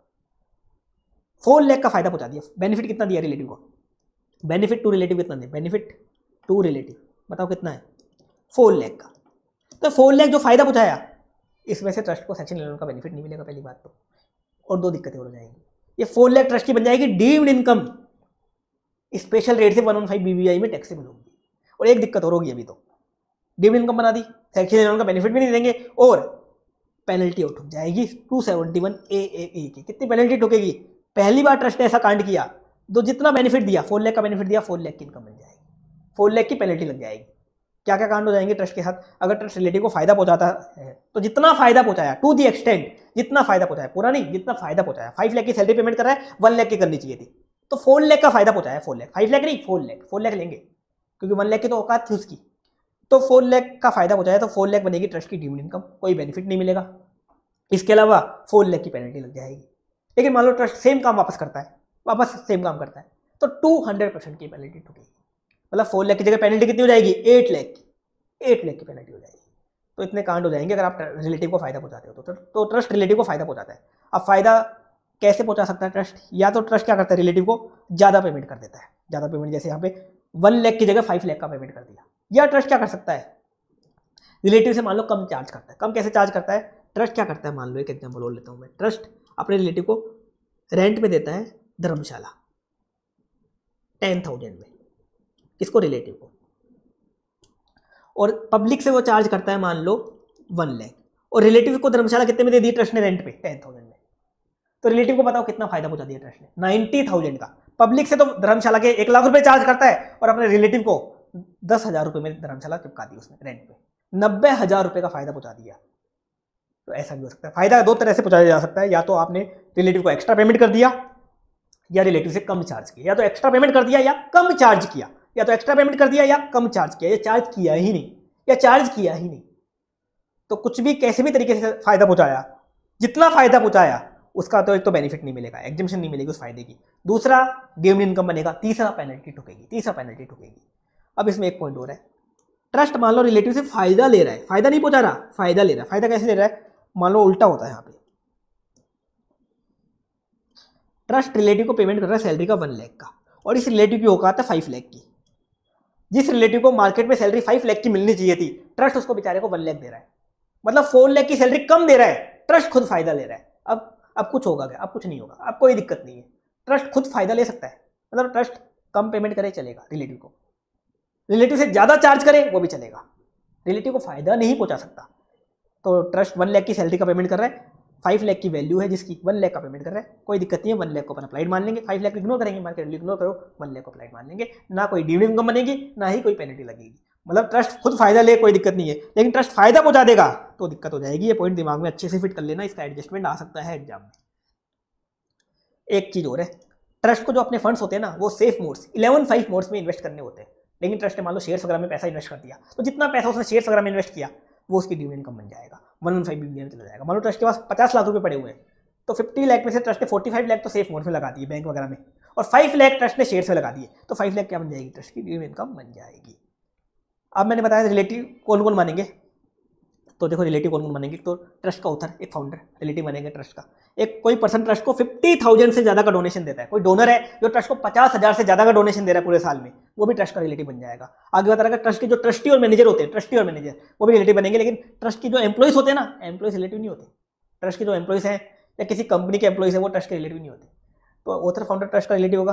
कोई पर्सन फिफ्टी थाउज़ेंड से ज़्यादा का डोनेशन दे रहा है, वो ट्रस्ट का रिलेटिव होगा ट्रस्टी मैनेजर ट्रस्ट का रिलेटिव होगा। इसके अलावा ऊपर वाले जो पर्सन है author founder donor trustee manager इन लोगों को कोई रिलेटिव है, इन लोगों का कोई रिलेटिव है। कौन सा रिलेटिव इनका खानदान फिफ्टी सिक्स टू टेन वाला स्पाउस पेरेंट्स चिल्ड्रन वगैरह, वो सब। इन ऊपर वाले लोगों का, जैसे मान लो ट्रस्ट का एक फाउंडर है फाउंडर तो रिलेटिव हो गया फाउंडर की वाइफ वो भी रिलेटिव फाउंडर के मम्मी पापा, वो भी रिलेटिव फाउंडर के दादा दादी वो भी रिलेटिव लीनियर असेंडेंट डिसेंडेंट सब थे ना वो। वो भी सब ट्रस्ट के रिलेटिव माने जाएँगे। इसके अलावा कोई एंटिटी है, मान लो, कोई कंपनी है कोई फर्म है, जिसमें ऊपर वाले पर्सन का सब्सटेंशियल इंटरेस्ट है ट्वेंटी परसेंट शेयर है। ट्वेंटी परसेंट उससे ज़्यादा शेयर है। जैसे मान लो एक कंपनी है एबीसी लिमिटेड उस एबीसी लिमिटेड में फाउंडर का थर्टी परसेंट शेयर है। तो फाउंडर तो रिलेटिव है ट्रस्ट का, वो एबीसी लिमिटेड भी क्या मानी जाएगी? ट्रस्ट की रिलेटिव मानी जाएगी। तो ये सब लोग क्या है? रिलेटिव की डेफिनेशन में आएँगे। हाँ इसमें ध्यान देना, बस एम्प्लॉइज रिलेटिव में नहीं आते। आगे बता रखा है पेनल्टी तो मैंने बताई थी रिलेटिव को फ़ायदा पहुंचाते हो तो। सेफ़ मोड्स इलेवन फाइव में सेफ़ मोड्स क्या होते हैं? सेफ़ मोड्स ऐसे मोड्स जहाँ पैसा डूबता नहीं है। क्या क्या बता रखे तो बैंक में ट्रस्ट अपना पैसा रख सकता है। Bank cooperative bank post office saving bank कौन कौन से बैंक चलेंगे? Scheduled bank cooperative bank post office saving bank इनमें पैसा ट्रस्ट रख सकता है। इनमें चाहे तो एफडी करवा दे, चाहे करंट अकाउंट में रखे, चाहे सेविंग अकाउंट में रखे। किसी में भी रखे, चलेगा। कौन कौन से में? शेड्यूल्ड बैंक कोऑपरेटिव बैंक और post office saving bank scheduled bank cooperative bank post office saving bank बस तीन। एनबीएफसी को बननी ध्यान देना। एनबीएफसी को रिस्की माना इन्होंने। एनबीएफसी को सेफ़ मोड नहीं माना इन्होंने।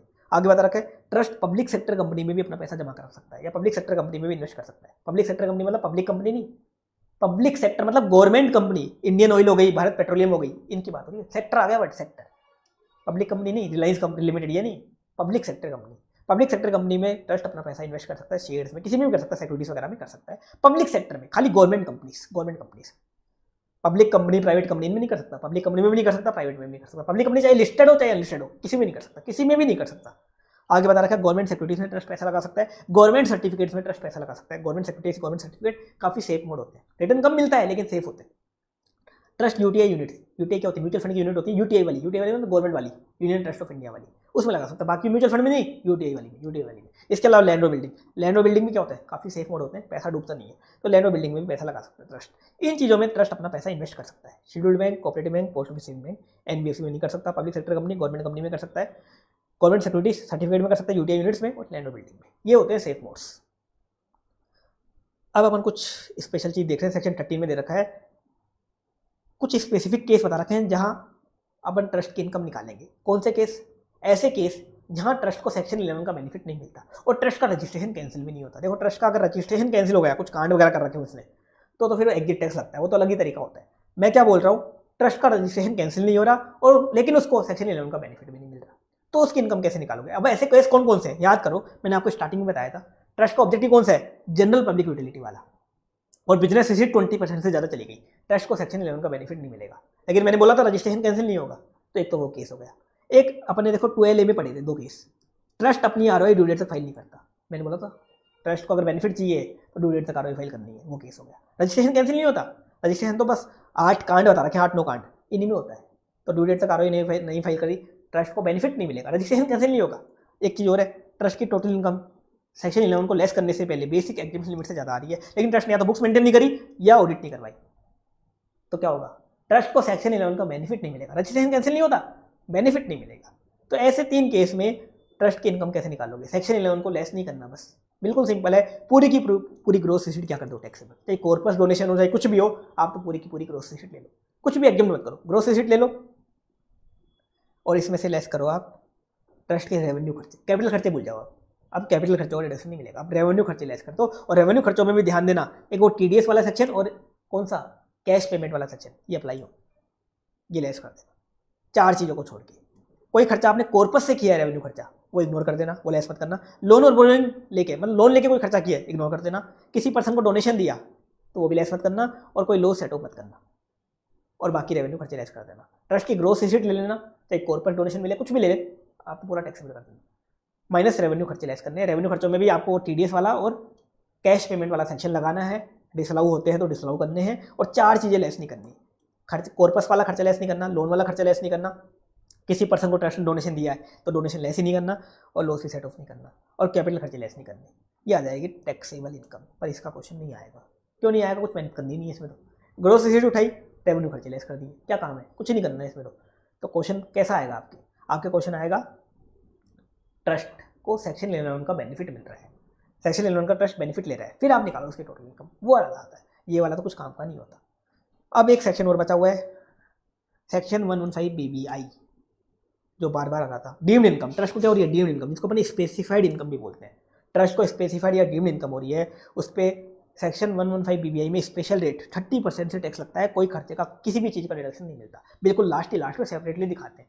कौन सी होती है वो डिविडेंड इनकम सबसे पहले मैंने बताया था, अगर आपने कॉर्पोरेट डोनेशन आपको मिला ट्रस्ट को, और उसको उससे सेफ़ मोड से जमा नहीं करवाया, कहीं और खर्च कर दिया या तो या कहीं और जमा करवा दिया, बन जाएगा डीम्ड इनकम दूसरा याद करो इलेवन वन बी ए से आपने वादा किया था डीम अप्लाइड मान के। और उस वादे को आप तोड़ते हो, वादा खिलाफ भी करते हो, बन जाएगा डीम इनकम तीसरा eleven three income accumulate set apart करी थी आपने। इनकम अकुमुलेट सेट अपार्ट करी थी।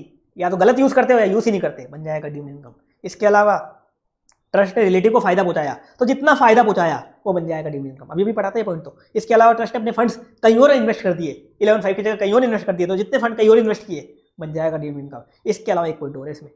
ट्रस्ट ने इनकम कहाँ अप्लाई करी? मैंने बताया था ट्रस्ट को इनकम कहाँ अप्लाई करनी है? इंडिया के अंदर. तो ही डिडक्शन मिलता है. ट्रस्ट ने अपनी इनकम इंडिया के बाहर खर्च कर दी. मान लो ट्रस्ट ने फाइव लाख रुपीज़ यूएस में खर्च कर दिए. बन जाएगा डीम इनकम जितने पैसे से बाहर खर्च करें, वो बन जाएगा डीम इनकम तो ये सारी चीज़ें क्या बनेंगी? डीम्ड इनकम और इन पे लगेगी स्पेशल रेट थर्टी परसेंट और इनमें से कोई डिडक्शन भी नहीं मिलेगा. ना फिफ्टीन परसेंट वाला मिलेगा, ना एट्टी फाइव परसेंट वाला अप्लाइड वाला मिलेगा. कुछ नहीं मिलेगा. पूरी की पूरी एक ग्रोस बेसिस पे थर्टी परसेंट की रेट से क्या होंगी टैक्सेबल ये सिक्स इनकम याद रखना, इनको अच्छे से याद रख लेना, इन इनकम को। इनमें से कोई सा भी पॉइंट एग्ज़ाम में आता है, कोई सा भी एक पॉइंट डाल सकते हैं। अब देखते हैं अपन फॉर्मेट आपका क्वेश्चन आएगा चैरिटेबल ट्रस्ट को सेक्शन इलेवन का बेनिफिट मिल रहा है। अब अपन को उसकी टोटल इनकम निकालनी है। टोटल इनकम भी निकालनी है टैक्स भी निकालनी है। चैरिटेबल या रिलीजियस ट्रस्ट का क्वेश्चन आएगा। कैसा आएगा क्वेश्चन फॉर्मेट में बना रखा हूँ, ताकि आपकी गलती ना हो।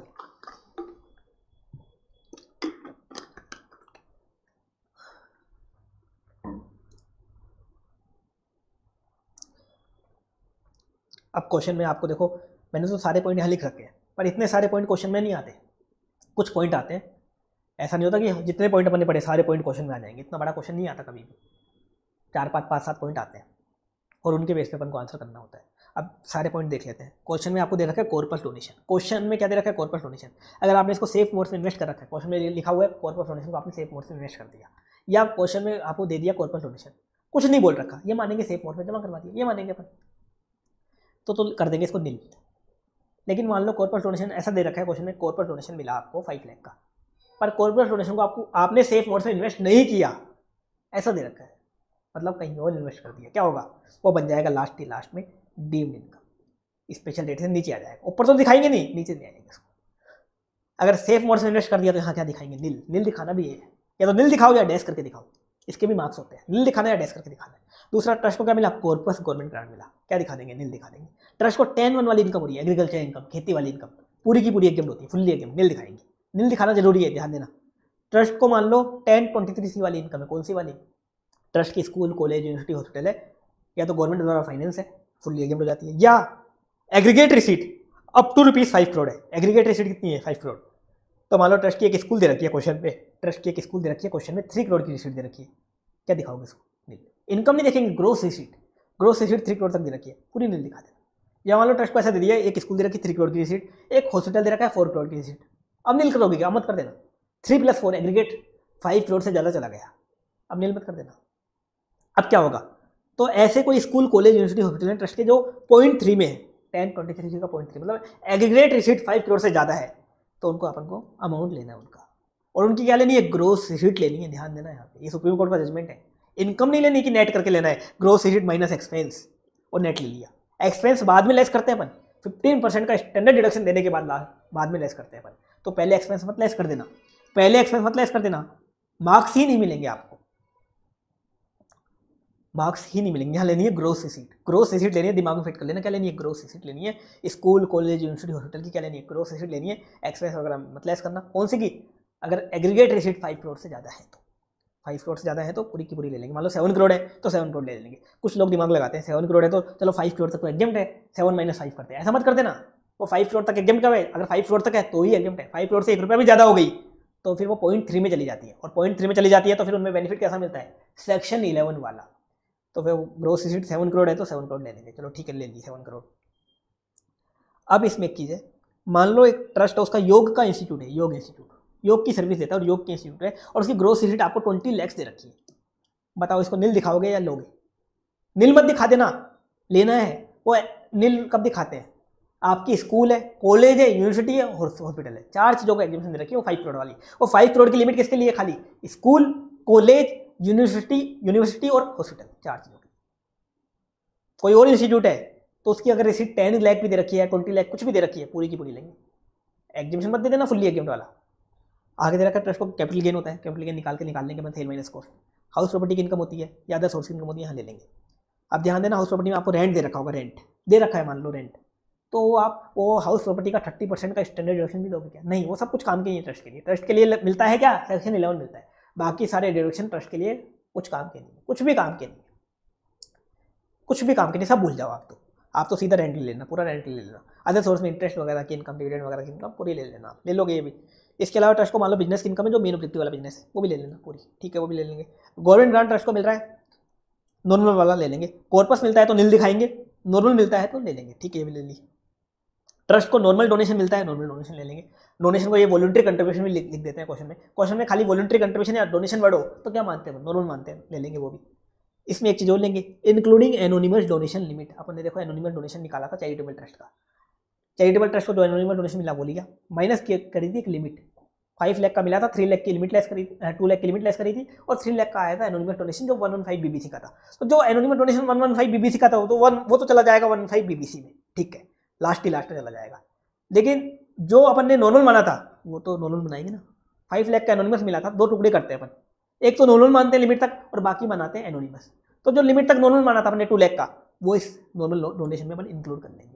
वो भी क्या बनेगा? एनी अदर इनकम इसके अलावा मान लो कोई रिलीजियस ट्रस्ट है, उसको एनोनिमस डोनेशन मिला तो उसको भी क्या मानेंगे? नॉर्मल डोनेशन उसको भी यहाँ लेंगे। उसको भी क्या लेंगे? यहाँ लेंगे। ये हो गई ट्रस्ट की सारी इनकम इन सब का टोटल कर दो। इन सब का टोटल करोगे, इसमें से लेस करोगे फिफ्टीन परसेंट का स्टैंडर्ड डिडक्शन ये लेस करते हैं आपका रिमेनिंग आ जाएगा eighty five percent remaining eighty five percent आ गया आपका। अब एट्टी फाइव परसेंट क्या करोगे? जो अमाउंट इंडिया में आपने चैरिटेबल पर्पस में खर्च करी चैरिटेबल रीजन वो लेस कर देना। कैसे लेस कर देना? रेवेन्यू खर्चे कैपिटल खर्चे। दूसरे ट्रस्ट को डोनेशन दिया। नॉर्मल डोनेशन दिया दूसरे ट्रस्ट को तो एट्टी फाइव परसेंट वो लेस कर देना। कोई लोन का रिपेमेंट किया तो रिपेमेंट लेस कर देना। ये आपको लेस करने इसमें भी कुछ पॉइंट थे डेप्रिसिएशन इग्नोर करना, कोई खर्चे में टी नहीं काटा, या कैश वगैरह में पेमेंट कर दिया तो उसको डिसअलाउ कर देना, वो सब पॉइंट आपको याद रखने हैं सेक्शन इलेवन वाले। वो सब फॉलो करके आपको ये लेस करना है। इसके अलावा एक अपने पढ़ा था डीम्ड अप्लाइड दो केस में पढ़े थे, या तो ट्रस्ट को इनकम रिसीव नहीं होती प्रीवियस ईयर में, या लास्ट डे में रिसीव होती है। तो अपन उसको डीम्ड अप्लाइड मान सकते हैं, बस ये को वादा करना है, वो लेस कर देना। लेकिन याद करना, अगर ट्रस्ट कैश सिस्टम फॉलो करता है ट्रस्ट कैश सिस्टम फॉलो करता है तो ये वाला पॉइंट कुछ काम का नहीं होता। कौन सा वाला? ट्रस्ट को इनकम रिसीव नहीं हुई प्रीवियस ईयर में। क्यों काम का नहीं है? वो इनकम का पार्टी नहीं है। जब इनकम का पार्टी नहीं है तो उसको अप्लाई मारने की ज़रूरत नहीं है। तो ये पॉइंट इग्नोर करना। तो ट्रस्ट का देखो कैश सिस्टम का क्वेश्चन भी आ सकता है अक्रूवल सिस्टम का। अक्रूवल और कैश सिस्टम में कोई फ़र्क नहीं है। क्यों फ़र्क नहीं है? ट्रस्ट को खर्चे पेड बेसिस पे लागू होते हैं। बस एक फ़र्क आएगा, ये वाला बस। ये फ़र्क आएगा। क्या फ़र्क आएगा? अगर ट्रस्ट कैश सिस्टम फॉलो करता है तो डीम्ड अप्लाइड में अगर ट्रस्ट को इनकम रिसीव नहीं हुई, उस पॉइंट को अपन इग्नोर कर देते हैं। उसको लेस नहीं करते इग्नोर कर देते हैं। ट्रस्ट है मान लो इनको इनकम अकोमोडेट सेटअपार्ट करिए इलेवन टू में। लेस कर देंगे। ये मानेंगे कंडीशन पूरी हो रही है, अपन लेस कर देंगे। अकोमोडेट कर सकते हैं ना ट्रस्ट सेटअपार्ट पर्पस के लिए। फाइव ईयर तक अकोमोडेट कर सकता है मैक्सिमम वो लेस कर देंगे, ठीक है। ट्रस्ट के अर्लियर ईयर के लॉस दे रखे एक्सेस ऑफ़ एक्सपेंडिचर और इनकम इन अर्लियर ईयर मतलब लास्ट ईयर ट्रस्ट के खर्चे ज़्यादा थे इनकम कम थी। या लॉस हो गया था लास्ट ईयर वो अलाउ नहीं होगा। लेकिन उसको नील दिखाना है। नील तो दिखाना है नील या डैश करके दिखाना है। तो अलाउ नहीं होगा। वो अलाउ नहीं होगा। ये सारे काम कर दिए। ये सब लेस करने के बाद आ जाएगी ट्रस्ट की टोटल इनकम जिससे लगेगा स्लैब स्लैब कौन सा लगेगा? अपना दे रखा ना फाइनेंशियल वाला स्लैब, वो लगा दो या तो। या ट्रस्ट अगर one one five B S C follow करते हैं one five B S C concession slab वो लगा दो। जो भी लगाना चाहो, जो भी क्वेश्चन में दे रखा है, वो लगा देना। क्वेश्चन में दे रखा होगा आपको मेंशन कर रखा होगा। अब इसमें अलग से आप ऐड करो एनोनिमस डोनेशन एनोनिमस डोनेशन और deemed income one five B वाली। ये दो स्पेशल रेट वाली इनकम है। इन पर कोई डिडक्शन नहीं मिलता। तो इनको लास्ट की लास्ट में बाद में ऐड करेंगे। बाद में ऐड करेंगे। Anonymous donation one five BBC में जो जाएगा, वो ऐड करना है आपको पूरा मत कर देना। एक चैरिटेबल ट्रस्ट को फाइव लाख का एनोनिमस डोनेशन मिला तो अपन उसके दो टुकड़े करते हैं। एक लिमिट निकालते हैं और एक बैलेंस बैलेंस आएगा यहाँ पे। लिमिट तो नॉर्मल बन जाता है तो वो यहाँ दिखा देंगे। और डीम्ड इनकम डीम्ड इनकम कौन कौन सी? देख, देखी थी ना पाँच छः इनकम देखो कौन कौन सी? ये वाली। कॉर्पोरेट डोनेशन आप इलेवन फाइव मोड में इन्वेस्ट नहीं करते। एओ से वादा तोड़ते हो। अकुमुलेट अमाउंट का गलत यूज़ करते हो या यूज़ नहीं करते। रिलेटिव को फ़ायदा पहुँचाते हो, जितना फ़ायदा पहुँचाया। इसके अलावा अपने फंड्स कहीं और इन्वेस्ट करते हो जितने फंड आपने कहीं और इन्वेस्ट किए, ये सब बन जाएँगे ड्रीम इनकम जितने भी दे रखे हैं ये आप सेपरेटली यहाँ ऐड कर देना। और ये आ जाएगी ट्रस्ट की फाइनल इनकम अब टैक्स निकालना बिल्कुल सिंपल है, जो नॉर्मल इनकम आई है इसमें तो लगा दो स्लैब फिर एनोनिमस डोनेशन पे लगा दो थर्टी परसेंट डी इनकम में लगा दो थर्टी परसेंट टोटल टैक्स आ गया। सरचार्ज ऐड करना है, नहीं करना वो देखो। क्या देखो? टोटल इनकम देखो, एक लिमिट को क्रॉस करते नहीं कर रही कौन सी लिमिट लगेगी? Individual H U F A P V I artificial judicial person trust इस कैटेगरी में आता है। एजीपी होता है ट्रस्ट तो आर्टिफिशियल जुडिकल पर्सन में क्या होता है? फिफ्टी लाख का कोई सरचार्ज नहीं लगता फिफ्टी लाख से ज़्यादा इनकम है तो लगता है सरचार्ज ये देख के आप सरचार्ज भी लगा दो। सेस तो लगाना है ही आपको। ये आ जाएगा टोटल टैक्स ऐसा क्वेश्चन आता है। अब इसमें सारे पॉइंट नहीं आते, कुछ पॉइंट आते हैं। इस टेबल को आप अच्छे से कर लो, अच्छे से ध्यान दे देना।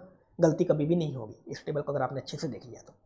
सब पॉइंट मैंने यहाँ लिख दिए। जो भी पॉइंट हो सकते हैं, सारे के सारे पॉइंट मैंने यहाँ लिख दिए। आपको बस इसमें क्या पता होना चाहिए? कौन कौन सी अमाउंट को अपन चैरिटेबल और रिलीजियस पर्पज़ के लिए अप्लाई मानते हैं? वो आपको अच्छे से पता होना चाहिए। उसके लिए सेक्शन इलेवन में बता रखा था मैंने, काफ़ी चार चीज़ों को मानते हैं और उसमें भी एक नोट दे रखा था मैंने। नोट में आठ दस पॉइंट थे। वो आठ दस पॉइंट आपको आने चाहिए बस। फिर ये क्वेश्चन कभी भी आपका गलती नहीं होगा, कभी भी गलत नहीं होगा। ये था चैरिटेबल ट्रस्ट और रिलीजियस ट्रस्ट का टैक्सेशन कैसे होता है वो अपन ने देख लिया।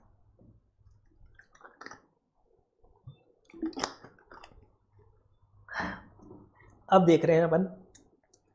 चैरिटेबल और रिलीजियस ट्रस्ट पे एक लगता है एग्जिट टैक्स अगर ट्रस्ट क्या कर देते? कांड कर देते। तो इनमें लगता है exit tax section one five T D में। इनकी अक्रीडेड इनकम में लगता है ये टैक्स होता क्या है?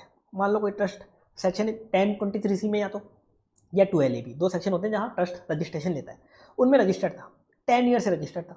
टेन ईयर से उन सेक्शन के मज़े ले रहा था। करंट ईयर में ट्रस्ट ने कुछ कांड कर दिए और कमिश्नर ने उसका रजिस्ट्रेशन कैंसिल कर दिया। तो आगे तो उसको सेक्शन क्या बोलते हैं ट्वेल्व ए बी वगैरह का सेक्शन इलेवन का बेनिफिट नहीं मिलेगा। चलो ठीक है, नहीं मिलेगा।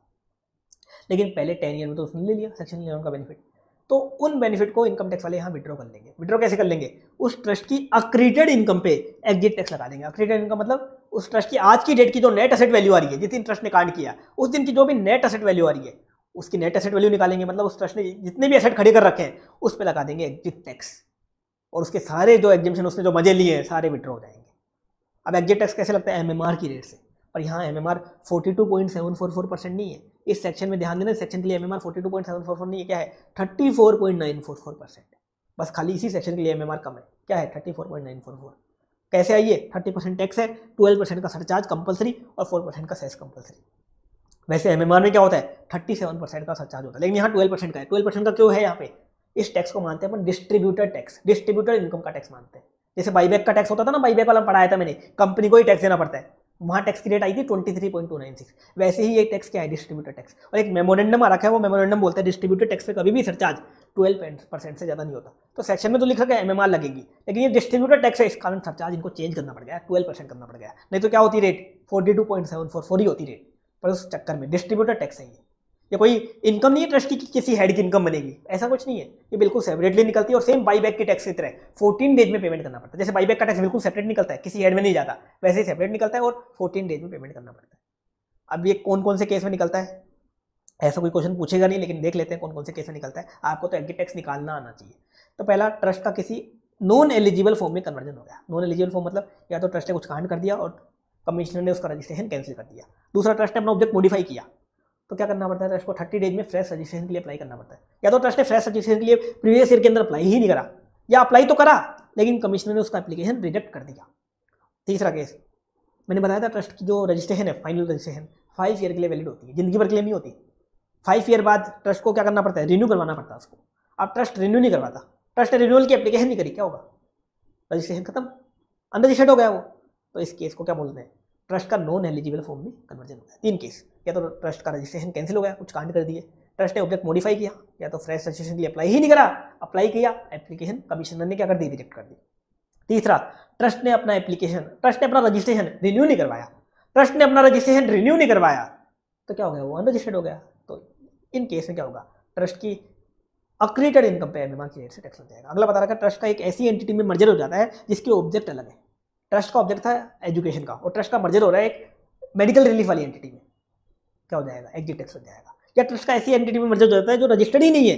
मानो ट्रस्ट का किसी प्राइवेट कंपनी में मर्जर हो गया, किसी फर्म में मर्जर हो गया ट्रस्ट का, या किसी कंपनी में मर्जर हो गया ट्रस्ट का, जो ट्वेल्व या टेन ट्वेंटी थ्री में रजिस्टर्ड ही नहीं है। ऐसे मर्जर हो गया तो क्या हो जाएगा? अब अक्रीडेड इनकम पे एम की रेट से टैक्स हो जाएगा। तीसरा केस ट्रस्ट का क्या हो रहा है? डिजोल्यूशन हो रहा है। डिजोल्यूशन ट्रस्ट खत्म हो रहा है। देखो ट्रस्ट जब खत्म होता है ना ट्रस्ट को क्या करना पड़ता है? ट्वेल्व मंथ्स के अंदर अंदर अपने असेट्स दूसरे रजिस्टर्ड ट्रस्ट को डिस्ट्रीब्यूट करने होते हैं। ऐसा नहीं कि अपने असेट वो अपने रिलेटिव को डिस्ट्रीब्यूट करते हैं ऐसा नहीं होता कि अपने फाउंडर को डोनर को डिस्ट्रीब्यूट कर दे, ऐसा नहीं होता। ट्वेल्व मंथ्स के अंदर ट्रस्ट को अपने असेट किसी दूसरे रजिस्टर्ड ट्रस्ट को डिस्ट्रीब्यूट करने होते हैं। क्यों करने होते हैं? ट्रस्ट पब्लिक प्रॉपर्टी होता है। ट्रस्ट क्या होता है? पब्लिक प्रॉपर्टी होता है। तो ट्रस्ट को किसी दूसरे रजिस्टर्ड ट्रस्ट को या दूसरे इंस्टीट्यूशन को ट्वेल्व मंथ्स के अंदर अंदर, जिस मंथ में डिजोल्यूशन हुआ, उस मंथ के एंड से ट्वेल्व मंथ में अपने असेट डिस्ट्रीब्यूट करने होते हैं। लेकिन मान लो ट्रस्ट का डिजोल्यूशन हो रहा है ट्रस्ट ने क्या किया? ट्वेल्व मंथ्स में अपने असेट डिस्ट्रीब्यूट नहीं किए। ट्वेल्व मंथ में अपने असेट डिस्ट्रीब्यूट नहीं किए। तो ट्रस्ट की अक्रीडेड इनकम पे रेट से क्या लग जाएगा टैक्स लग जाएगा। अब ये अक्रीडेड इनकम क्या होती है? ये अपन एक तरीके से ट्रस्ट का नेट वैल्यूशन करते हैं। नेट असेट वैल्यू होती है। कैसे आती है? उस ट्रस्ट की शीट में जो सेट आ रहे हैं, उनके अपन ले लेते हैं एफ़ और उसमें से ट्रस्ट की जो लाइबिलिटीज़ हैं लाइबिलिटीज़ की बुक वैल्यू लेस कर देते हैं, ये आ जाती है अक्रेटेड इनकम असेट्स की वैल्यू माइनस लाइबिलिटीज़ की वैल्यू ये आ जाती है अक्रेटेड इनकम और इस पर कर देते हैं thirty four point nine four four percent की रेट से टैक्स लगा देते हैं। यही होता है इनकी टैक्स अलग से सरचार्ज अलग से सेसमेंट लगा देना। इसमें ऑलरेडी इंक्लूड है। इस रेट में ऑलरेडी इंक्लूड है। ये होता है एग्जिट टैक्स अब बता रखा है आप असेट्स की वैल्यू लेते हो तो असेट्स जब लोगे तो तीन असेट आपको इग्नोर करने हैं। तीन असेट पे एग्जिट टैक्स नहीं लगता। अपन असेट्स की वैल्यू लेते हैं और क्रेडिट इनकम निकालते हैं। तो असेट्स को लेते हैं और उसमें से लाइबिलिटी हटाते हैं। तीन ऐसे असेट दे रखे हैं जिनको आपको इग्नोर करना है, जिनको लेना नहीं है, जिनकी वैल्यू नहीं लेनी। कौन कौन से? ऐसे असेट जो आपने खेती की इनकम से परचेज किए थे। ट्रस्ट ने कैसे परचेज किए थे? एग्रीकल्चर इनकम से परचेज किए जैसे मान लो ट्रस्ट ने टू करोड़ का एक असेट था बिल्डिंग थी जो ट्रस्ट ने एग्रीकल्चर इनकम से परचेज करी थी। तो ये टू करोड़ की बिल्डिंग पे एग्जिट टैक्स नहीं लगेगा, इसको यहाँ कैलकुलेशन में मत लेना। क्यों नहीं लगेगा? देखो एग्रीकल्चर इनकम ऐसा होती है, जो सभी एसएससी की एग्जिट होती है। चाहे ट्रस्ट अनरजिस्टर्ड भी होता, मान लो individual H F P artificial judicial person या कोई भी पर्सन होता कंपनी फर्म सभी की एग्रीकल्चर इनकम एग्जिट होती है। तो ट्रस्ट अनरजिस्टर्ड भी होता तो भी एग्रीकल्चर इनकम एग्जिट होती। तो आपने एग्रीकल्चर इनकम जो एग्ज़ाम थी, उसी को इन्वेस्ट किया है। तो उसको इन्वेस्ट करके जो असेट खड़ा किया है, उस पर कोई टैक्स नहीं देना। वो इनकम तो वैसे भी एग्ज़ाम होती है। एग्रीकल्चर इनकम अगर ट्रस्ट अनरजिस्टर्ड भी होता ट्रस्ट मान लो रजिस्ट्रेशन लेता भी नहीं तो वैसे भी एग्ज़ाम होती। तो सेक्शन इलेवन का कोई फ़ायदा नहीं हुआ एग्रीकल्चर इनकम में, कोई स्पेशल फ़ायदा नहीं हुआ। वो तो सेक्शन टेन वन में वैसे ही एग्ज़ाम्स मिल जाती है उसकी तो। तो एग्रीकल्चर इनकम से कोई असेट खरीदा हुआ है तो उस असेट को आप इग्नोर कर देना। वो असेट कुछ काम का यहाँ नहीं है। कोई काम का असेट नहीं है। उस असेट पे एग्जिट टैक्स नहीं लगेगा। दूसरा है, कोई असेट ट्रस्ट ने कब परचेज किया? जब ट्रस्ट रजिस्टर्ड था ही नहीं। मतलब जब जब ट्रस्ट क्रिएट हुआ, उस दिन से लेकर के जिस दिन ट्रस्ट को रजिस्ट्रेशन मिला, उस दिन से पहले दिन तक ट्रस्ट ने कोई एसेट परचेज कर रखा मतलब जब ट्रस्ट रजिस्टर्ड था ही नहीं, उस पीरियड में ट्रस्ट ने कोई एसेट परचेज किया था। तो बताओ ट्रस्ट ने उस एसेट पे सेक्शन इलेवन का बेनिफिट लिया होगा क्या? नहीं लिया होगा। क्योंकि बेनिफिट का मिलता है सेक्शन इलेवन का? जब ट्रस्ट रजिस्टर्ड हो जाता है रजिस्टर्ड ट्रस्ट को मिलता है। तो जब ट्रस्ट रजिस्टर्ड था ही नहीं, तब ट्रस्ट ने मान लो एक फाइव लैख की लैंड परचेज करी थी। या ट्रस्ट ने टेन लैख के शेयर परचेज किए थे, उनको भी मत लेना। उन पर भी एग्जिट टैक्स नहीं लगेगा, उन एसेट को भी इग्नोर कर देना। और तीसरा डिजोल्यूशन वाला केस है। ट्रस्ट का डिजोल्यूशन हो रहा है और ट्रस्ट क्या करता है? ट्वेल्व मंथ्स में जो असेट डिस्ट्रीब्यूट कर देगा, दूसरे ट्रस्ट को, उन असेट में भी एग्जिट टैक्स नहीं लगेगा, उनको भी इग्नोर कर देना जितने असेट ट्रस्ट ने दूसरे ट्रस्ट को डिस्ट्रीब्यूट कर दिए, उन पर भी एग्जिट टैक्स नहीं लगेगा। तो तीन ऐसे असेट है जिन पर एग्जिट टैक्स नहीं लगेगा। पहला एग्रीकल्चर इनकम वाला सेट दूसरा जब ट्रस्ट रजिस्टर्ड था ही नहीं, तब परचेज किए थे असेट वो, और तीसरा डिजोल्यूशन के केस में जो असेट ट्रस्ट ने ट्वेल्व मंथ में डिस्ट्रीब्यूट कर दिए। इन तीन असेट को अपन एग्जिट टैक्स से बाहर रखेंगे, इन तीन असेट में एग्जिट टैक्स लगेगा नहीं, इन तीन असेट को अपन इग्नोर करेंगे, लेंगे नहीं। अगर आपने टोटल असेट में ले रखा है इनको तो हटाओ। इनको लेस करके हटाओ। या तो लो ही मत, अगर ले रखा है तो इनको हटाओ। ये मतलब होता है इग्नोर करने का। ये मतलब होता है टोटल असेट में अगर आपने ले रखा है तो इनको हटाओ। या तो लो ही मत कैलकुलेशन करते वक्त। अगर ले लिया आपने टोटल असेट में तो इनको लेस करो, हटाओ। आगे बता रखा है, इन तीन असेट को जब अपन इग्नोर कर रहे हैं, इन तीन असेट की रिगार्डिंग कोई लाइबिलिटी आ रही है तो लाइबिलिटी को भी आपको इग्नोर करना है। इन तीन असेट की लाइबिलिटी को भी नहीं लेना। लाइबिलिटी को भी लेस नहीं करना फिर। जैसे मान लो ट्रस्ट ने एक बिल्डिंग परचेज करी थी फाइव लैख की, जब ट्रस्ट रजिस्टर्ड था ही नहीं। आप उस फाइव लैख की बिल्डिंग को इग्नोर कर रहे हो। अब वो फाइव लैख की बिल्डिंग के रिगार्डिंग वन लैख की लाइबिलिटी खड़ी हुई है बुक में। वन लैख की लाइबिलिटी लोन खड़ा हुआ है। आपने वन लैख का लोन लिया था तब। जब ट्रस्ट रजिस्टर था ही नहीं, तब वन लैख का लोन लिया होता वो लोन अभी भी चल रहा है। और तो क्या करना है, उस लाइबिलिटी को भी हटाना है। तो इन तीन असेट की कोई लाइबिलिटी इन तीन असेट की कोई लाइबिलिटी बुक्स में आ रही है तो इन तीन असेट की लाइबिलिटी को भी इग्नोर करना है, उसको लेस भी नहीं करना। लाइबिलिटी को भी क्या करना है, आपको इग्नोर करना है। जब असेट ही हटा रहे हो तो लाइबिलिटी भी हटा दो। अब आगे बता रखा है असेट और लाइबिलिटी की वैल्यूशन कौन सी डेट की करोगे? कुछ काम का नहीं है। आपको क्वेश्चन में इसी डेट की वैल्यू देगा। क्या है फिर भी देख लो। अगर ट्रस्ट का नॉन एलिजिबल फॉर्म में कन्वर्ट हो रहा है मतलब कैंसिलेशन वाला केस है रजिस्ट्रेशन कैंसिल वाला केस है तो कैंसिलेशन के दिन की वैल्यू ले लो। मॉडिफिकेशन वाला केस है तो मॉडिफिकेशन के दिन की वैल्यू ले लो। ट्रस्ट ने रिन्यूअल वाला एप्लीकेशन नहीं करा तो जिस दिन उसको लास्ट डे था एप्लीकेशन करने का लास्ट डे था, उस लास्ट डे की वैल्यू ले लो। मर्जर वाला केस है तो मर्जर के दिन की वैल्यू ले लो, और डिजोल्यूशन वाला केस है तो डिजोल्यूशन के दिन की वैल्यू इन दिन की आपको वैल्यू लेनी है, ज़्यादा काम का है नहीं। अब वैल्यू कैसे निकालनी है वो अपन देखेंगे। देखो असेट्स की लेनी है अपन को एफ़ एम की एफ़ एम लेनी है, लेकिन कुछ असेट लेने नहीं है। एक तो जो तीन असेट मैंने ऊपर बताया वो आपको नहीं लेने थ्री असेट इग्नोर करने ठीक है? इसके अलावा दो असेट और इग्नोर करने इनको इनकम टैक्स में अपन असेट मानते ही। नहीं ये तो कहीं पर भी नहीं लेते। याद करो, मैंने स्लम सेल में भी अपन ने वैल्यूशन किया था। एफ़ एम वन निकाला था, वहाँ भी नहीं लिया था इनको। T D S T C S advance tax deferred revenue expenditure ये दो तो असेट मानते ही नहीं है। इनकम टैक्स ये भी दे रखा है तो इनको इग्नोर कर देना। T D S T C S advance tax deferred revenue expenditure ये भी अगर असेट साइड में दे रखा है तो इनको भी इग्नोर कर देना। बाकी तीन असेट वो छोड़ने और दो असेट ये छोड़ने। अब बाकी असेट की ट्रस्ट की क्या लेनी है आपको? एफ़ लेनी है। अब एफ़ निकालोगे कैसे? वो देखते जाओ। यहाँ क्या लेनी है? एफ़ लेनी है। स्लम सेल वाला कंसेप्ट लगा देना। स्लम सेल में तो अलग वैल्यू लेते हैं वहाँ पे। स्लम सेल में अपन क्या क्या लेते हैं? लैंड बिल्डिंग की स्टाम्प ड्यूटी वैल्यू लेते हैं। किसी चीज़ की अपन ओपन मार्केट वैल्यू लेते हैं। किसी की बुक वैल्यू लेते हैं। यहाँ क्या लेनी है अपन को? एफ़ लेनी है। एफ़ देखो कैसे निकालेंगे। वो देखो। कोटेड शेयर्स एंड सिक्योरिटीज़ की एफ़ एम भी देखो कैसे निकलेगी। स्टॉक एक्सचेंज में वैल्यूशन डेट के दिन इनकी जो भी लोएस्ट और हाईएस्ट प्राइस थी, उनका एवरेज कर देना। जैसे मान लो लोएस्ट प्राइस थी सिक्सटी और हाईएस्ट प्राइस थी एट्टी इनका एवरेज करो, कितना आया? सेवेंटी सेवेंटी आ जाएगी पर शेयर की वैल्यू मान लो आपने फाइव थाउज़ेंड शेयर हेल्ड कर रखे तो फाइव थाउज़ेंड इंटू सेवेंटी ये वैल्यू आ जाएगी। स्टॉक एक्सचेंज में वैल्यूशन डेट के दिन जो भी लोएस्ट और हाईएस्ट प्राइस थी, जो भी लोएस्ट और हाईएस्ट प्राइस थी, उनका एवरेज कर देना। कोटेड मतलब listed share securities listed share and securities की बात हो रही है। Listed shares listed debentures listed modes इनकी बात। लेकिन मान लो वैल्यूशन डेट के दिन स्टॉक एक्सचेंज बंद था। बंद था उस दिन तो वैल्यूशन डेट से जस्ट पहले वैल्यूशन डेट से जस्ट पहले जिस दिन भी ट्रेडिंग हुई है जिस दिन भी स्टॉक एक्सचेंज खुला हुआ था, उस दिन की क्या करो? लोएस्ट और हाईएस्ट प्राइस का एवरेज कर दो, ठीक है? दूसरा ट्रस्ट ने क्या हेल्ड कर रखे ट्रस्ट की बैलेंस शीट में कौन सा सेट आ रहा है? Unquoted shares and securities unlisted shares unlisted securities आ रहे हैं। Other than equity share equity share को छोड़ के और कोई अनलिस्टेड प्रेफरेंस शेयर से मान लो, या अनलिस्टेड बोन्स अनलिस्टेड डिवेंचर्स उनका क्या करोगे? उनके लिए आपको लेनी है ओपन मार्केट वैल्यू और वो भी अपने मन से नहीं लेनी। या तो मर्चेंट बैंकर या चार्टेड अकाउंटेंट से, या तो मर्चेंट बैंकर या चार्टेड अकाउंटेंट से आपको वैल्यूशन रिपोर्ट लेनी है और उन्होंने जो ओपन मार्केट वैल्यू कैलकुलेट करी है, वो आपको लेनी है। किसकी? Unquoted share and securities other than equity share अब unquoted equity share unlisted equity share unlisted equity share की वैल्यू कैसे निकालोगे?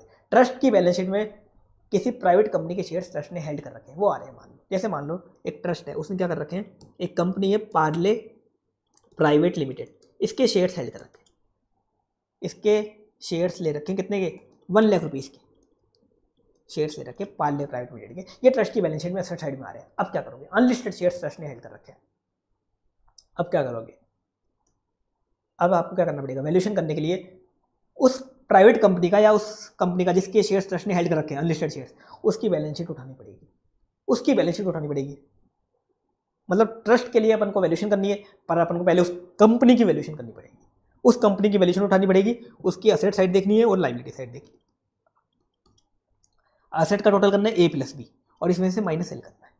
क्या फॉर्मूला है? A plus B minus L उस पार्ले प्राइवेट लिमिटेड की बैलेंस शीट उठानी पड़ेगी, उसके एसेट की वैल्यू लेंगे अपन ए प्लस बी और उसमें से उस पार्ले की लाइबिलिटी लेस कर देंगे माइनस एल कर देंगे। डिवाइड करेंगे पीई ये पीई क्या है? पी है उस पार्ले की जो टोटल कैपिटल है टोटल पेड अप कैपिटल कितनी है? और पीवी क्या है? ट्रस्ट ने कितने के शेयर सेल कर रखे हैं? ट्रस्ट ने देखो वन लाख के शेयर हेल्ड कर रखे हैं तो ये हो गया one lakh PV one lakh क्या हो गया? एक तरीके से पीवी हो गया। वन लाख रुपीज़ के शेयर हेल्ड कर रखे हैं, ये हो गया पीवी तो A plus B minus L करेंगे डिवाइड करेंगे पीई से इंटू पीवी करेंगे।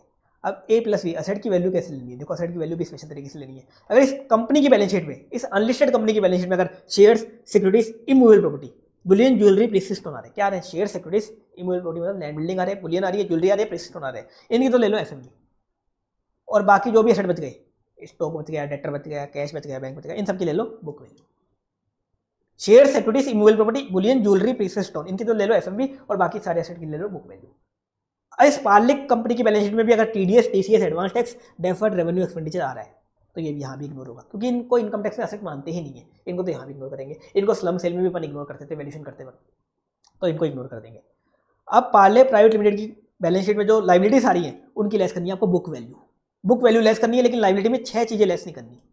छह चीज़ें इनकम टैक्स में लेस नहीं होती। क्या क्या एक तो paid up equity share less नहीं करनी, एक रिज़र्व सरप्लस लेस नहीं करने, एक डिविडेंड लेस नहीं करना, एक प्रोविज़न फॉर टैक्स लेस नहीं करना, एक provision for unascertained liability less नहीं करना और एक कंटिजेंट लाइबिलिटी लेस नहीं करना। और सेम टू सेम ये स्लम सेल में भी सेम था। ये सेम है। लाइबिलिटी जो लेस करते हैं ना अपन स्लम सेल में भी सेम था।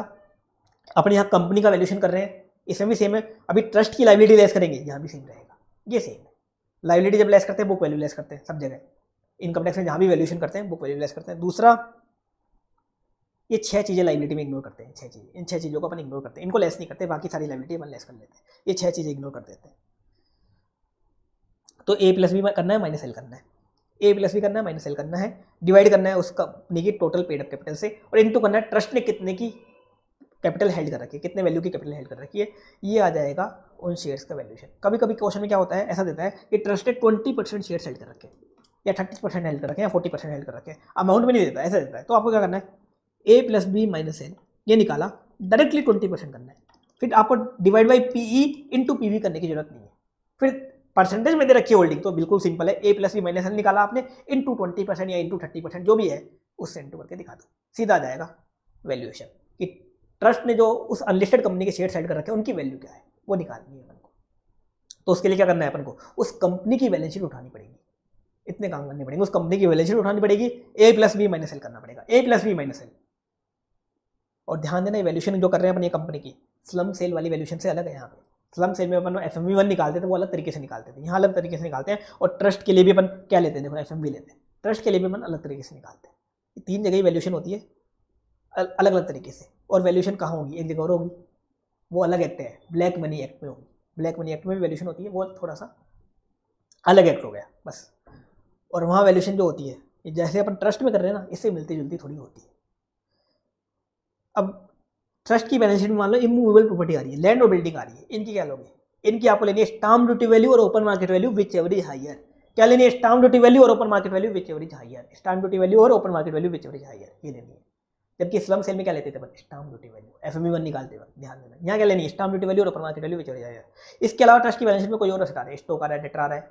कैश बैंक आ रहा है इन सबकी क्या लेनी है? ओपन मार्केट वैल्यू इन सबकी क्या लेनी है? Open market value open market value अब ध्यान देना, जो कैश और बैंक होता है ना, इनकी ओपन मार्केट वैल्यू और book value book value equal to open market value दोनों सेम होती है। कैश बैंक की ऐसा नहीं कि बुक वैल्यू अलग है ओपन मार्केट वैल्यू अलग है. कभी हो ही नहीं सकती। जो बुक वैल्यू है, वही मार्केट वैल्यू है। तो कैश और बैंक की आपको क्वेश्चन में बुक वैल्यू दे रखा होगा मार्केट वैल्यू नहीं देगा। वही क्या होती है? ओपन मार्केट वैल्यू सेम है। तो ये है, इस तरह से आपको वैल्यू लेनी है। अब लाइबिलिटीज़ की वैल्यू लेस करनी है। लाइबिलिटीज़ की क्या लेस करनी है? वही बुक वैल्यू लेस होती है। इनकम टैक्स में वैल्यूशन करते वक्त लाइबिलिटीज़ की हमेशा बुक वैल्यू लेस करनी है और ये पाँच चीज़ें छोड़नी है।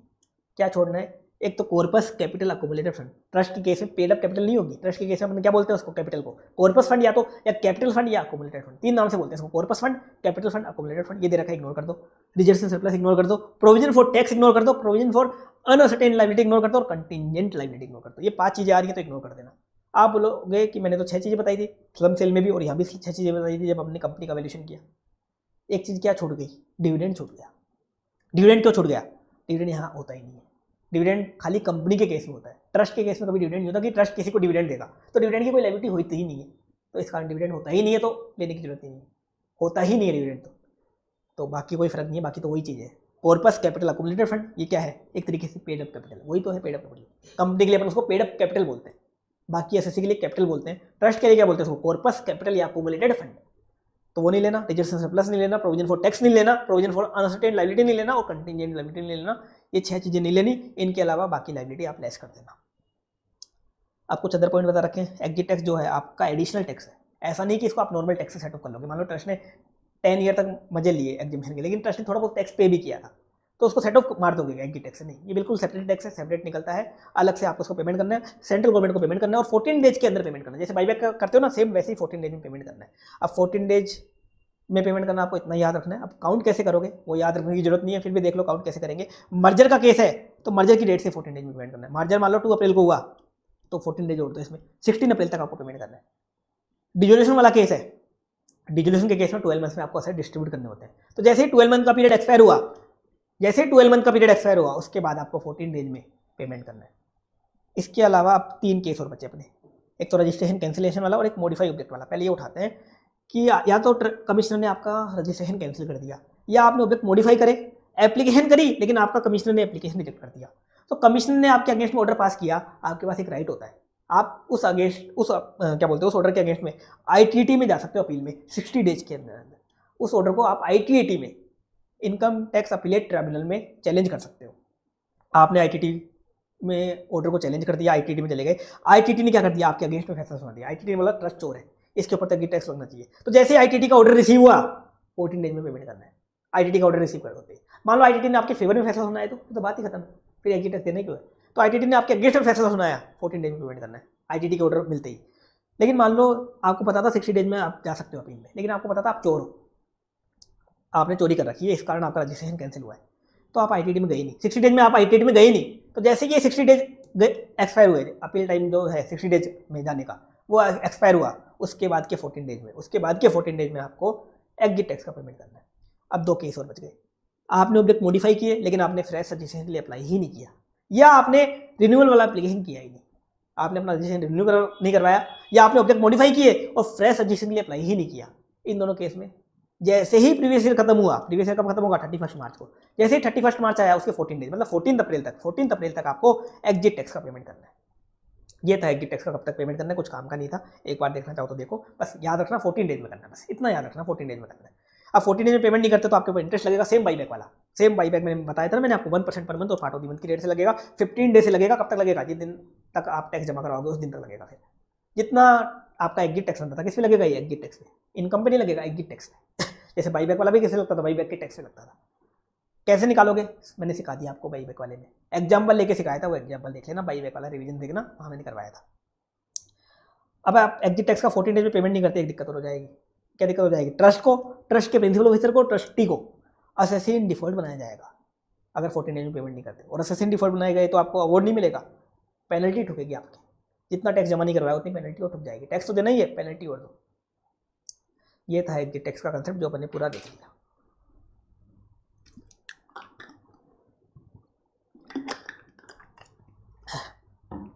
अब अपन टैक्सेशन देख रहे हैं पॉलिटिकल पार्टी और इलेक्टोरल ट्रस्ट का जो एग्ज़ाम में आने के चांसेस बिल्कुल नेग्लिजिबल होते हैं। देख लेते हैं क्या है। पॉलिटिकल पार्टी सेक्शन थर्टीन है। पॉलिटिकल पार्टी की काफ़ी सारी इनकम एग्जिम हो जाएँगी। कुछ कंडीशन बता रही है पॉलिटिकल पार्टी की कौन कौन सी इनकम एग्जिम हो जाएँगी। वो तो अपन देखेंगे, लेकिन पहले कंडीशन देख लेते हैं। पॉलिटिकल पार्टी को एक तो बुक्स मेंटेन करनी है, एक बुक्स की ऑडिट करवानी है, एक आर ड्यू डेट फ़ाइल करनी है। अगर पॉलिटिकल पार्टी को किसी बंदे से डोनेशन मिल रहा है ट्वेंटी थाउज़ेंड से ज़्यादा का तो उसका रिकॉर्ड रखना है, उस बंदे का, उस डोनर का नाम और पता रखना है रिकॉर्ड्स में, नाम और पता रखना है। इसके अलावा पॉलिटिकल पार्टी को अगर टू थाउज़ेंड से ज़्यादा का डोनेशन मिल रहा है तो कैसे लेना ओनली अकाउंट पे cheque D D C electronic mode और इलेक्ट्रोल बोर्ड से। कैश बीनेट चेक क्रॉस चेक से नहीं लेना। अगर ये पाँचों कंडीशन सेटिस्फाई हो जाती है तो पॉलिटिकल पार्टी की काफ़ी सारी इनकम एग्जिम हो जाएगी। क्या क्या हाउस प्रॉपर्टी की इनकम एग्जिम हो जाएगी कैपिटल की इनकम एग्जिम हो जाएगी अदर सोर्स एग्जिम हो जाएगी, और जितना भी डोनेशन मिला मेन इनकम क्या होती है डोनेशन की, वो भी पूरी एग्जिम हो जाएगी, वो भी पूरी एग्जिम हो जाएगी। बस एक इनकम टैक्सेबल होगी, अगर पॉलिटिकल पार्टी का, मान लो कोई बिज़नेस है पॉलिटिकल पार्टी का एक रेस्टोरेंट है, एक कैफ़े है, उससे जो इनकम हो रही है, वो क्या होगी फुली टैक्स बाकी सारी इनकम फुली एग्जिम हो जाएँगी, अगर पाँचों कंडीशन सेटिस्फाई हुई तो। इनमें से मान लो कोई भी कंडीशन वॉलेट हो गई, जैसे मान लो पॉलिटिकल पार्टी ने क्या किया फाइव थाउज़ेंड का डोनेशन अमन से कैश में रिसीव कर दिया तो सारी इनकम टैक्सेबल कर क्या करो? सारी की सारी इनकम टैक्सेबल कर दो, कोई एग्रीमेंट नहीं मिलेगा। या मान लो पोलिटिकल पार्टी ने थर्टी थाउज़ेंड का डोनेशन एक बंदे से रिसीव किया, उसका नाम पता लिया ही नहीं, नाम पता लिया नहीं, सारी इनकम टैक्सेबल कर दो। इसमें दो व्यू पॉइंट होते हैं। एक तो क्या है, सारी इनकम टैक्सेबल कर दो। इंस्टीट्यूट क्या करते हैं? सारी इनकम टैक्सेबल कर देता है फ़र्स्ट अल्टरनेटिव में। सेकंड अल्टरनेटिव ये भी है कि जो वॉयलेशन वाला पार्ट है, वो टैक्सेबल कर दो। देखो पीजीपी की इनकम तो टैक्सेबल होगी। इसके अलावा जो वॉयलेशन वाला पार्ट है, वो टैक्सेबल कर दो। जैसे मान लो पोलिटिकल पार्टी ने फाइव थाउज़ेंड रुपीज़ कैश में रिसीव कर लिए। तो फाइव थाउज़ेंड जो कैश में रिसीव किए, वो टैक्सेबल करो। बाकी तो एग्जीशन दे दो, लेकिन वो टैक्सेबल कर दो। पीजीपी तो होगी टैक्सेबल लेकिन बाकी वो टैक्सेबल कर दो वॉल्यूशन वाला पार्ट तो अपन तो क्या करेंगे? जैसे भी एक भी कंडीशन वॉलेट हुई, आप तो सारी टैक्सेबल कर दो। आप तो क्या करो? सारी की सारी इनकम टैक्सेबल कर दो। एक है section thirteen B taxation of electoral trust ये इलेक्टोरल ट्रस्ट क्या होते हैं? इलेक्शन कमीशन ऑफ़ इंडिया नहीं होता ये। ये क्या होते हैं? डोनर और पॉलिटिकल पार्टी के बीच के एजेंट होते हैं। बिचौलिए होते हैं तरीके से, बिचौलिए। जिनके ऊपर इलेक्शन कमीशन ऑफ़ इंडिया निगरानी रखता है और इनको सीबीडीटी से क्या लेनी पड़ती है? अप्रूवल लेनी पड़ती है सीबीडीटी से। ये क्या करते हैं? पॉलिटिकल पार्टी के लिए चंदा इकट्ठा करते हैं। पॉलिटिकल पार्टी के लिए भीख मांगते हैं कौन? इलेक्ट्रोल ट्रस्ट किसके लिए भीख मांगते हैं? पॉलिटिकल पार्टी के लिए भीख कौन मांगते हैं? ये इलेक्ट्रोल ट्रस्ट भीख मांगते हैं। पॉलिटिकल पार्टी को शर्म आती है तो वो क्या करती है? इन इलेक्ट्रोल ट्रस्ट से भीख मंगवाती है। तो ये क्या करते हैं? पॉलिटिकल पार्टी के लिए चंदा इकट्ठा करते हैं लोगों से और अपनी पॉलिटिकल पार्टी में ये चंदा बांट देते हैं। बीजेपी में कांग्रेस में जिसी में बांटना है, उसको बांट देते हैं। तो इनका काम क्या होता है? लोगों से चंदा इकट्ठा करने का। तो इनको जो डोनेशन मिला इलेक्ट्रोल ट्रस्ट को, लोगों से वो एग्ज़ाम हो जाएगा बस उसके लिए कंडीशन है इनको जो भी डोनेशन मिला उसका 95 परसेंट इनको पॉलिटिकल पार्टी को डिस्ट्रीब्यूट करना है। जैसे मान लो इनको वन करोड़ का डोनेशन मिला तो कम से कम 95 परसेंट कितना हुआ? 95 लाख पॉलिटिकल पार्टी को डिस्ट्रीब्यूट करना है। वो क्योंकि इनका पैसा नहीं है। ये तो बिचौली है एजेंट है। पॉलिटिकल पार्टी के लिए डोनेशन इकट्ठा कर रहे हैं। तो 95 परसेंट तक इनको डिस्ट्रीब्यूट करना है। बाकी ये अपने पास रख सकते हैं थोड़ा बहुत। लेकिन 95 परसेंट इनको डिस्ट्रीब्यूट करना है। इसमें एक चीज़ और है। Along with surplus brought forward from Algeria इसका मतलब क्या हुआ? जैसे मान लो लास्ट ईयर डोनेशन मिला था इनको।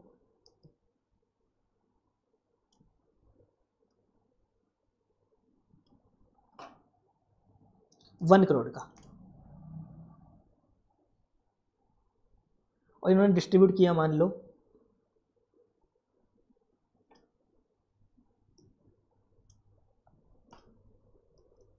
Donation receive. Last year last year की बात करते हैं। वन करोड़ का मिला इसको। किसको? इलेक्ट्रोल ट्रस्ट को। और डोनेशन इन्होंने डिस्ट्रीब्यूट कर दिया last year ninety five lakh का। बैलेंस कितना बचा इनके पास। फाइव लैख का बचा। नाइन्टी फाइव लैख इन्होंने डिस्ट्रीब्यूट कर दिया फाइव लैख बचा। लास्ट ईयर इनका डोनेशन एग्जेप्ट हो गया, क्योंकि नाइन्टी फाइव परसेंट इन्होंने डिस्ट्रीब्यूट कर दिया। कम से कम नाइन्टी फाइव परसेंट इनको डिस्ट्रीब्यूट करना होता है। करंट ईयर में इनको फिर से डोनेशन मिला वन करोड़ का। करंट ईयर में फिर से वन करोड़ का मिला। अब करंट ईयर में कितना डिस्ट्रीब्यूट करना है एग्जेप्ट करवाने के लिए? वन करोड़ का नाइन्टी फाइव परसेंट नहीं करेंगे। वन करोड़ और पुराना बैलेंस जो इनका बचा हुआ है five lakh one crore plus five lakh इसका करेंगे नाइन्टी फाइव परसेंट मतलब पुराने बैलेंस को मिलाएँगे। करंट ईयर में जो डोनेशन मिला वो लेंगे और पुराना जो बैलेंस पड़ा हुआ है इनके पास, उनका एग्रीगेट का इनको क्या करना है? उनका एग्रीगेट का नाइन्टी फाइव परसेंट डिस्ट्रीब्यूट करना है। अगर इनको डोनेशन एग्ज़ाम करवाना है तो। अगर ये कम डिस्ट्रीब्यूट करते हैं तो इनका डोनेशन की इनकम के हैंड से क्या हो जाएगी? टैक्सेबल हो जाएगी। ये क्यों किया गया, ताकि ये चुपचाप पॉलिटिकल पार्टी को डोनेशन डिस्ट्रीब्यूट कर दे, खुद ना खा जाए। आगे बता रखा है इलेक्ट्रोल ट्रस्ट को और कोई इनकम होती है तो फुल्ली टैक्सेबल होती है। आप लोग और कोई इनसे इनकम होगी इनको। मान लो इनको जब डोनेशन मिलता है तो क्या करते हैं बैंक में एफडी करवा देते हैं या तो या बैंक में पटक के रखते हैं। तो इनको इंटरेस्ट वगैरह मिल जाता है बैंक से तो बस वो इंटरेस्ट की इनकम होती है। तो वो तो इनके हैंड में, खुद के हैंड में टैक्सेबल होगी, चाहे वो डिस्ट्रीब्यूट करें या ना करें, वो तो इनकी इनकम मानी जाएगी। इंटरेस्ट वगैरह की इनकम इनकम होती है ना इसको इलेक्ट्रल ट्रस्ट को तो इनकी इनकम मानी जाएगी। आगे बता रखा है इलेक्ट्रल ट्रस्ट को जो डोनेशन लेना कैसे लेना है? अकाउंट पे cheque D D C S electronic mode से लेना कैश वगैरह से नहीं लेना। आगे बता रखा है इलेक्ट्रल ट्रस्ट को जो डोनेशन लेना है किससे लेना है? इंडियन लोगों से लेना है। इंडिया के बाहर के लोगों से नहीं लेना। इंडियन लोगों से लेना इंडिया के बाहर के लोगों से नहीं लेना और गवर्नमेंट कंपनी से नहीं लेना। या दूसरे इलेक्ट्रल ट्रस्ट से नहीं लेना। इंडिया के बाहर के लोगों से क्यों नहीं लेना? देखो इंडिया के बाहर के लोग क्या करते हैं? अपना एजेंडा चलाने के लिए इंडिया को बर्बाद करने के लिए इंडिया में फंडिंग करते हैं। फंडिंग किसको करते हैं? इन पॉलिटिकल पार्टी को जो उनके एजेंडा को सूट करती है। कुछ पॉलिटिकल पार्टी होती हैं, जैसे कश्मीर में ना पी तो पाकिस्तान से उसको फंडिंग मिलती है कि इंडिया को गालियाँ दो, या भारत को गालियाँ दो और पाकिस्तान की तारीफ़ें करो तो फंडिंग आती है। अब फंडिंग ना हो, ऐसी फ़ॉरन फंडिंग ना हो, इस कारण मना कर रखा है कि ये फ़ॉरन की फंडिंग नहीं लेंगे। लेते हैं, अगर ऐसा कांड करते हैं ये तो इनको इलेक्शन कमीशन ऑफ़ इंडिया लेगा और इनको रजिस्ट्रेशन क्या हो जाएगा? इनका कैंसिल हो जाएगा और इनकी जो पॉलिटिकल पार्टी है इलेक्ट्रोल ट्रस्ट की मतलब इनका जो मालिक है पॉलिटिकल पार्टी उसका भी रजिस्ट्रेशन कैंसिल हो जाएगा। पहले एक पॉलिटिकल पार्टी होती थी पीएफआई इसका काम धंधा ही क्या था? इसका काम धंधा ये था कि वो इंडिया के बाहर से फंडिंग जुटाती थी और इंडिया में गंदे काम करवाती थी या तो। इंडिया में अपनी जो आइडियोलॉजी थी, उसकी वामपंथी आइडियोलॉजी उसको चलाती थी और आतंकी वगैरह बनाती रहती थी। तो उसको गवर्नमेंट ने बैन भी किया था। तो इस कारण उनको मना कर रखा है कि फॉरन की फंडिंग ये ना ले। ये सब था। अब इसमें एक चीज़ और है। अगर कोई बंदा डोनेशन देता है, मान लो donation donation to political party या इलेक्ट्रोल ट्रस्ट को तो क्या होता है बताओ? डिडक्शन मिलता है। कहाँ मिलता है? याद करो। Eighty G G B eighty G G C में। कंपनी देती है तो कंपनी को मिल जाता है A T G G B में इंडियन कंपनी बाकी कोई और एस एस सी देता है इनको तो A T G G C में डिडक्शन मिल जाता है उस एस एस सी को, उस एस एस सी को। मैं इनकी बात नहीं कर रहा, ये तो रिसीव करने वाले हैं। मैं उनकी बात कर रहा हूँ जो डोनेशन दे रहा है। A T G G B जी सी मिल जाता है, बस वहाँ क्या था? वो कैश में डोनेशन नहीं दे सकते। बाकी कैसे भी दे डोनेशन कोई दिक्कत नहीं उनको। कैश में नहीं दे सकते। और हंड्रेड परसेंट क्या मिल जाता है? डिडक्शन मिल जाता है। वो पॉइंट अपने वहाँ काम का था। डिडक्शन वाले में, वहाँ देखा था। ये था पॉलिटिकल पार्टी और इलेक्ट्रोल ट्रस्ट का टैक्सेशन जो भी अपन ने डिटेल में देख लिया और कंप्लीट कर लिया इस चैप्टर को। इस चैप्टर में जो टैक्सेशन ऑफ़ चैरिटेबल ट्रस्ट है, वो आप अच्छे से पढ़ लेना। उसका क्वेश्चन हमेशा एग्ज़ाम में आता है। या तो टोटल इनकम निकालने का आ जाता है या एग्री टैक्स निकालने का आता है। कभी कभार उसका थियरी क्वेश्चन भी आता है। मैंने टोटल क्वेश्चन आपको क्लास में करवाए थे। उसके जितने भी क्वेश्चन थे इस चैप्टर के टोटल मैंने क्लास में करवाए थे। लिखवा लिखवा के आपको सारे क्वेश्चन करवाए थे। उनको एक बार और देख लेना। फिर भी कोई डाउट वगैरह आए तो आप मुझसे पूछ लेना। अभी के लिए इतना काफ़ी। Thank you so much Radhe Radhe Hare Krishna.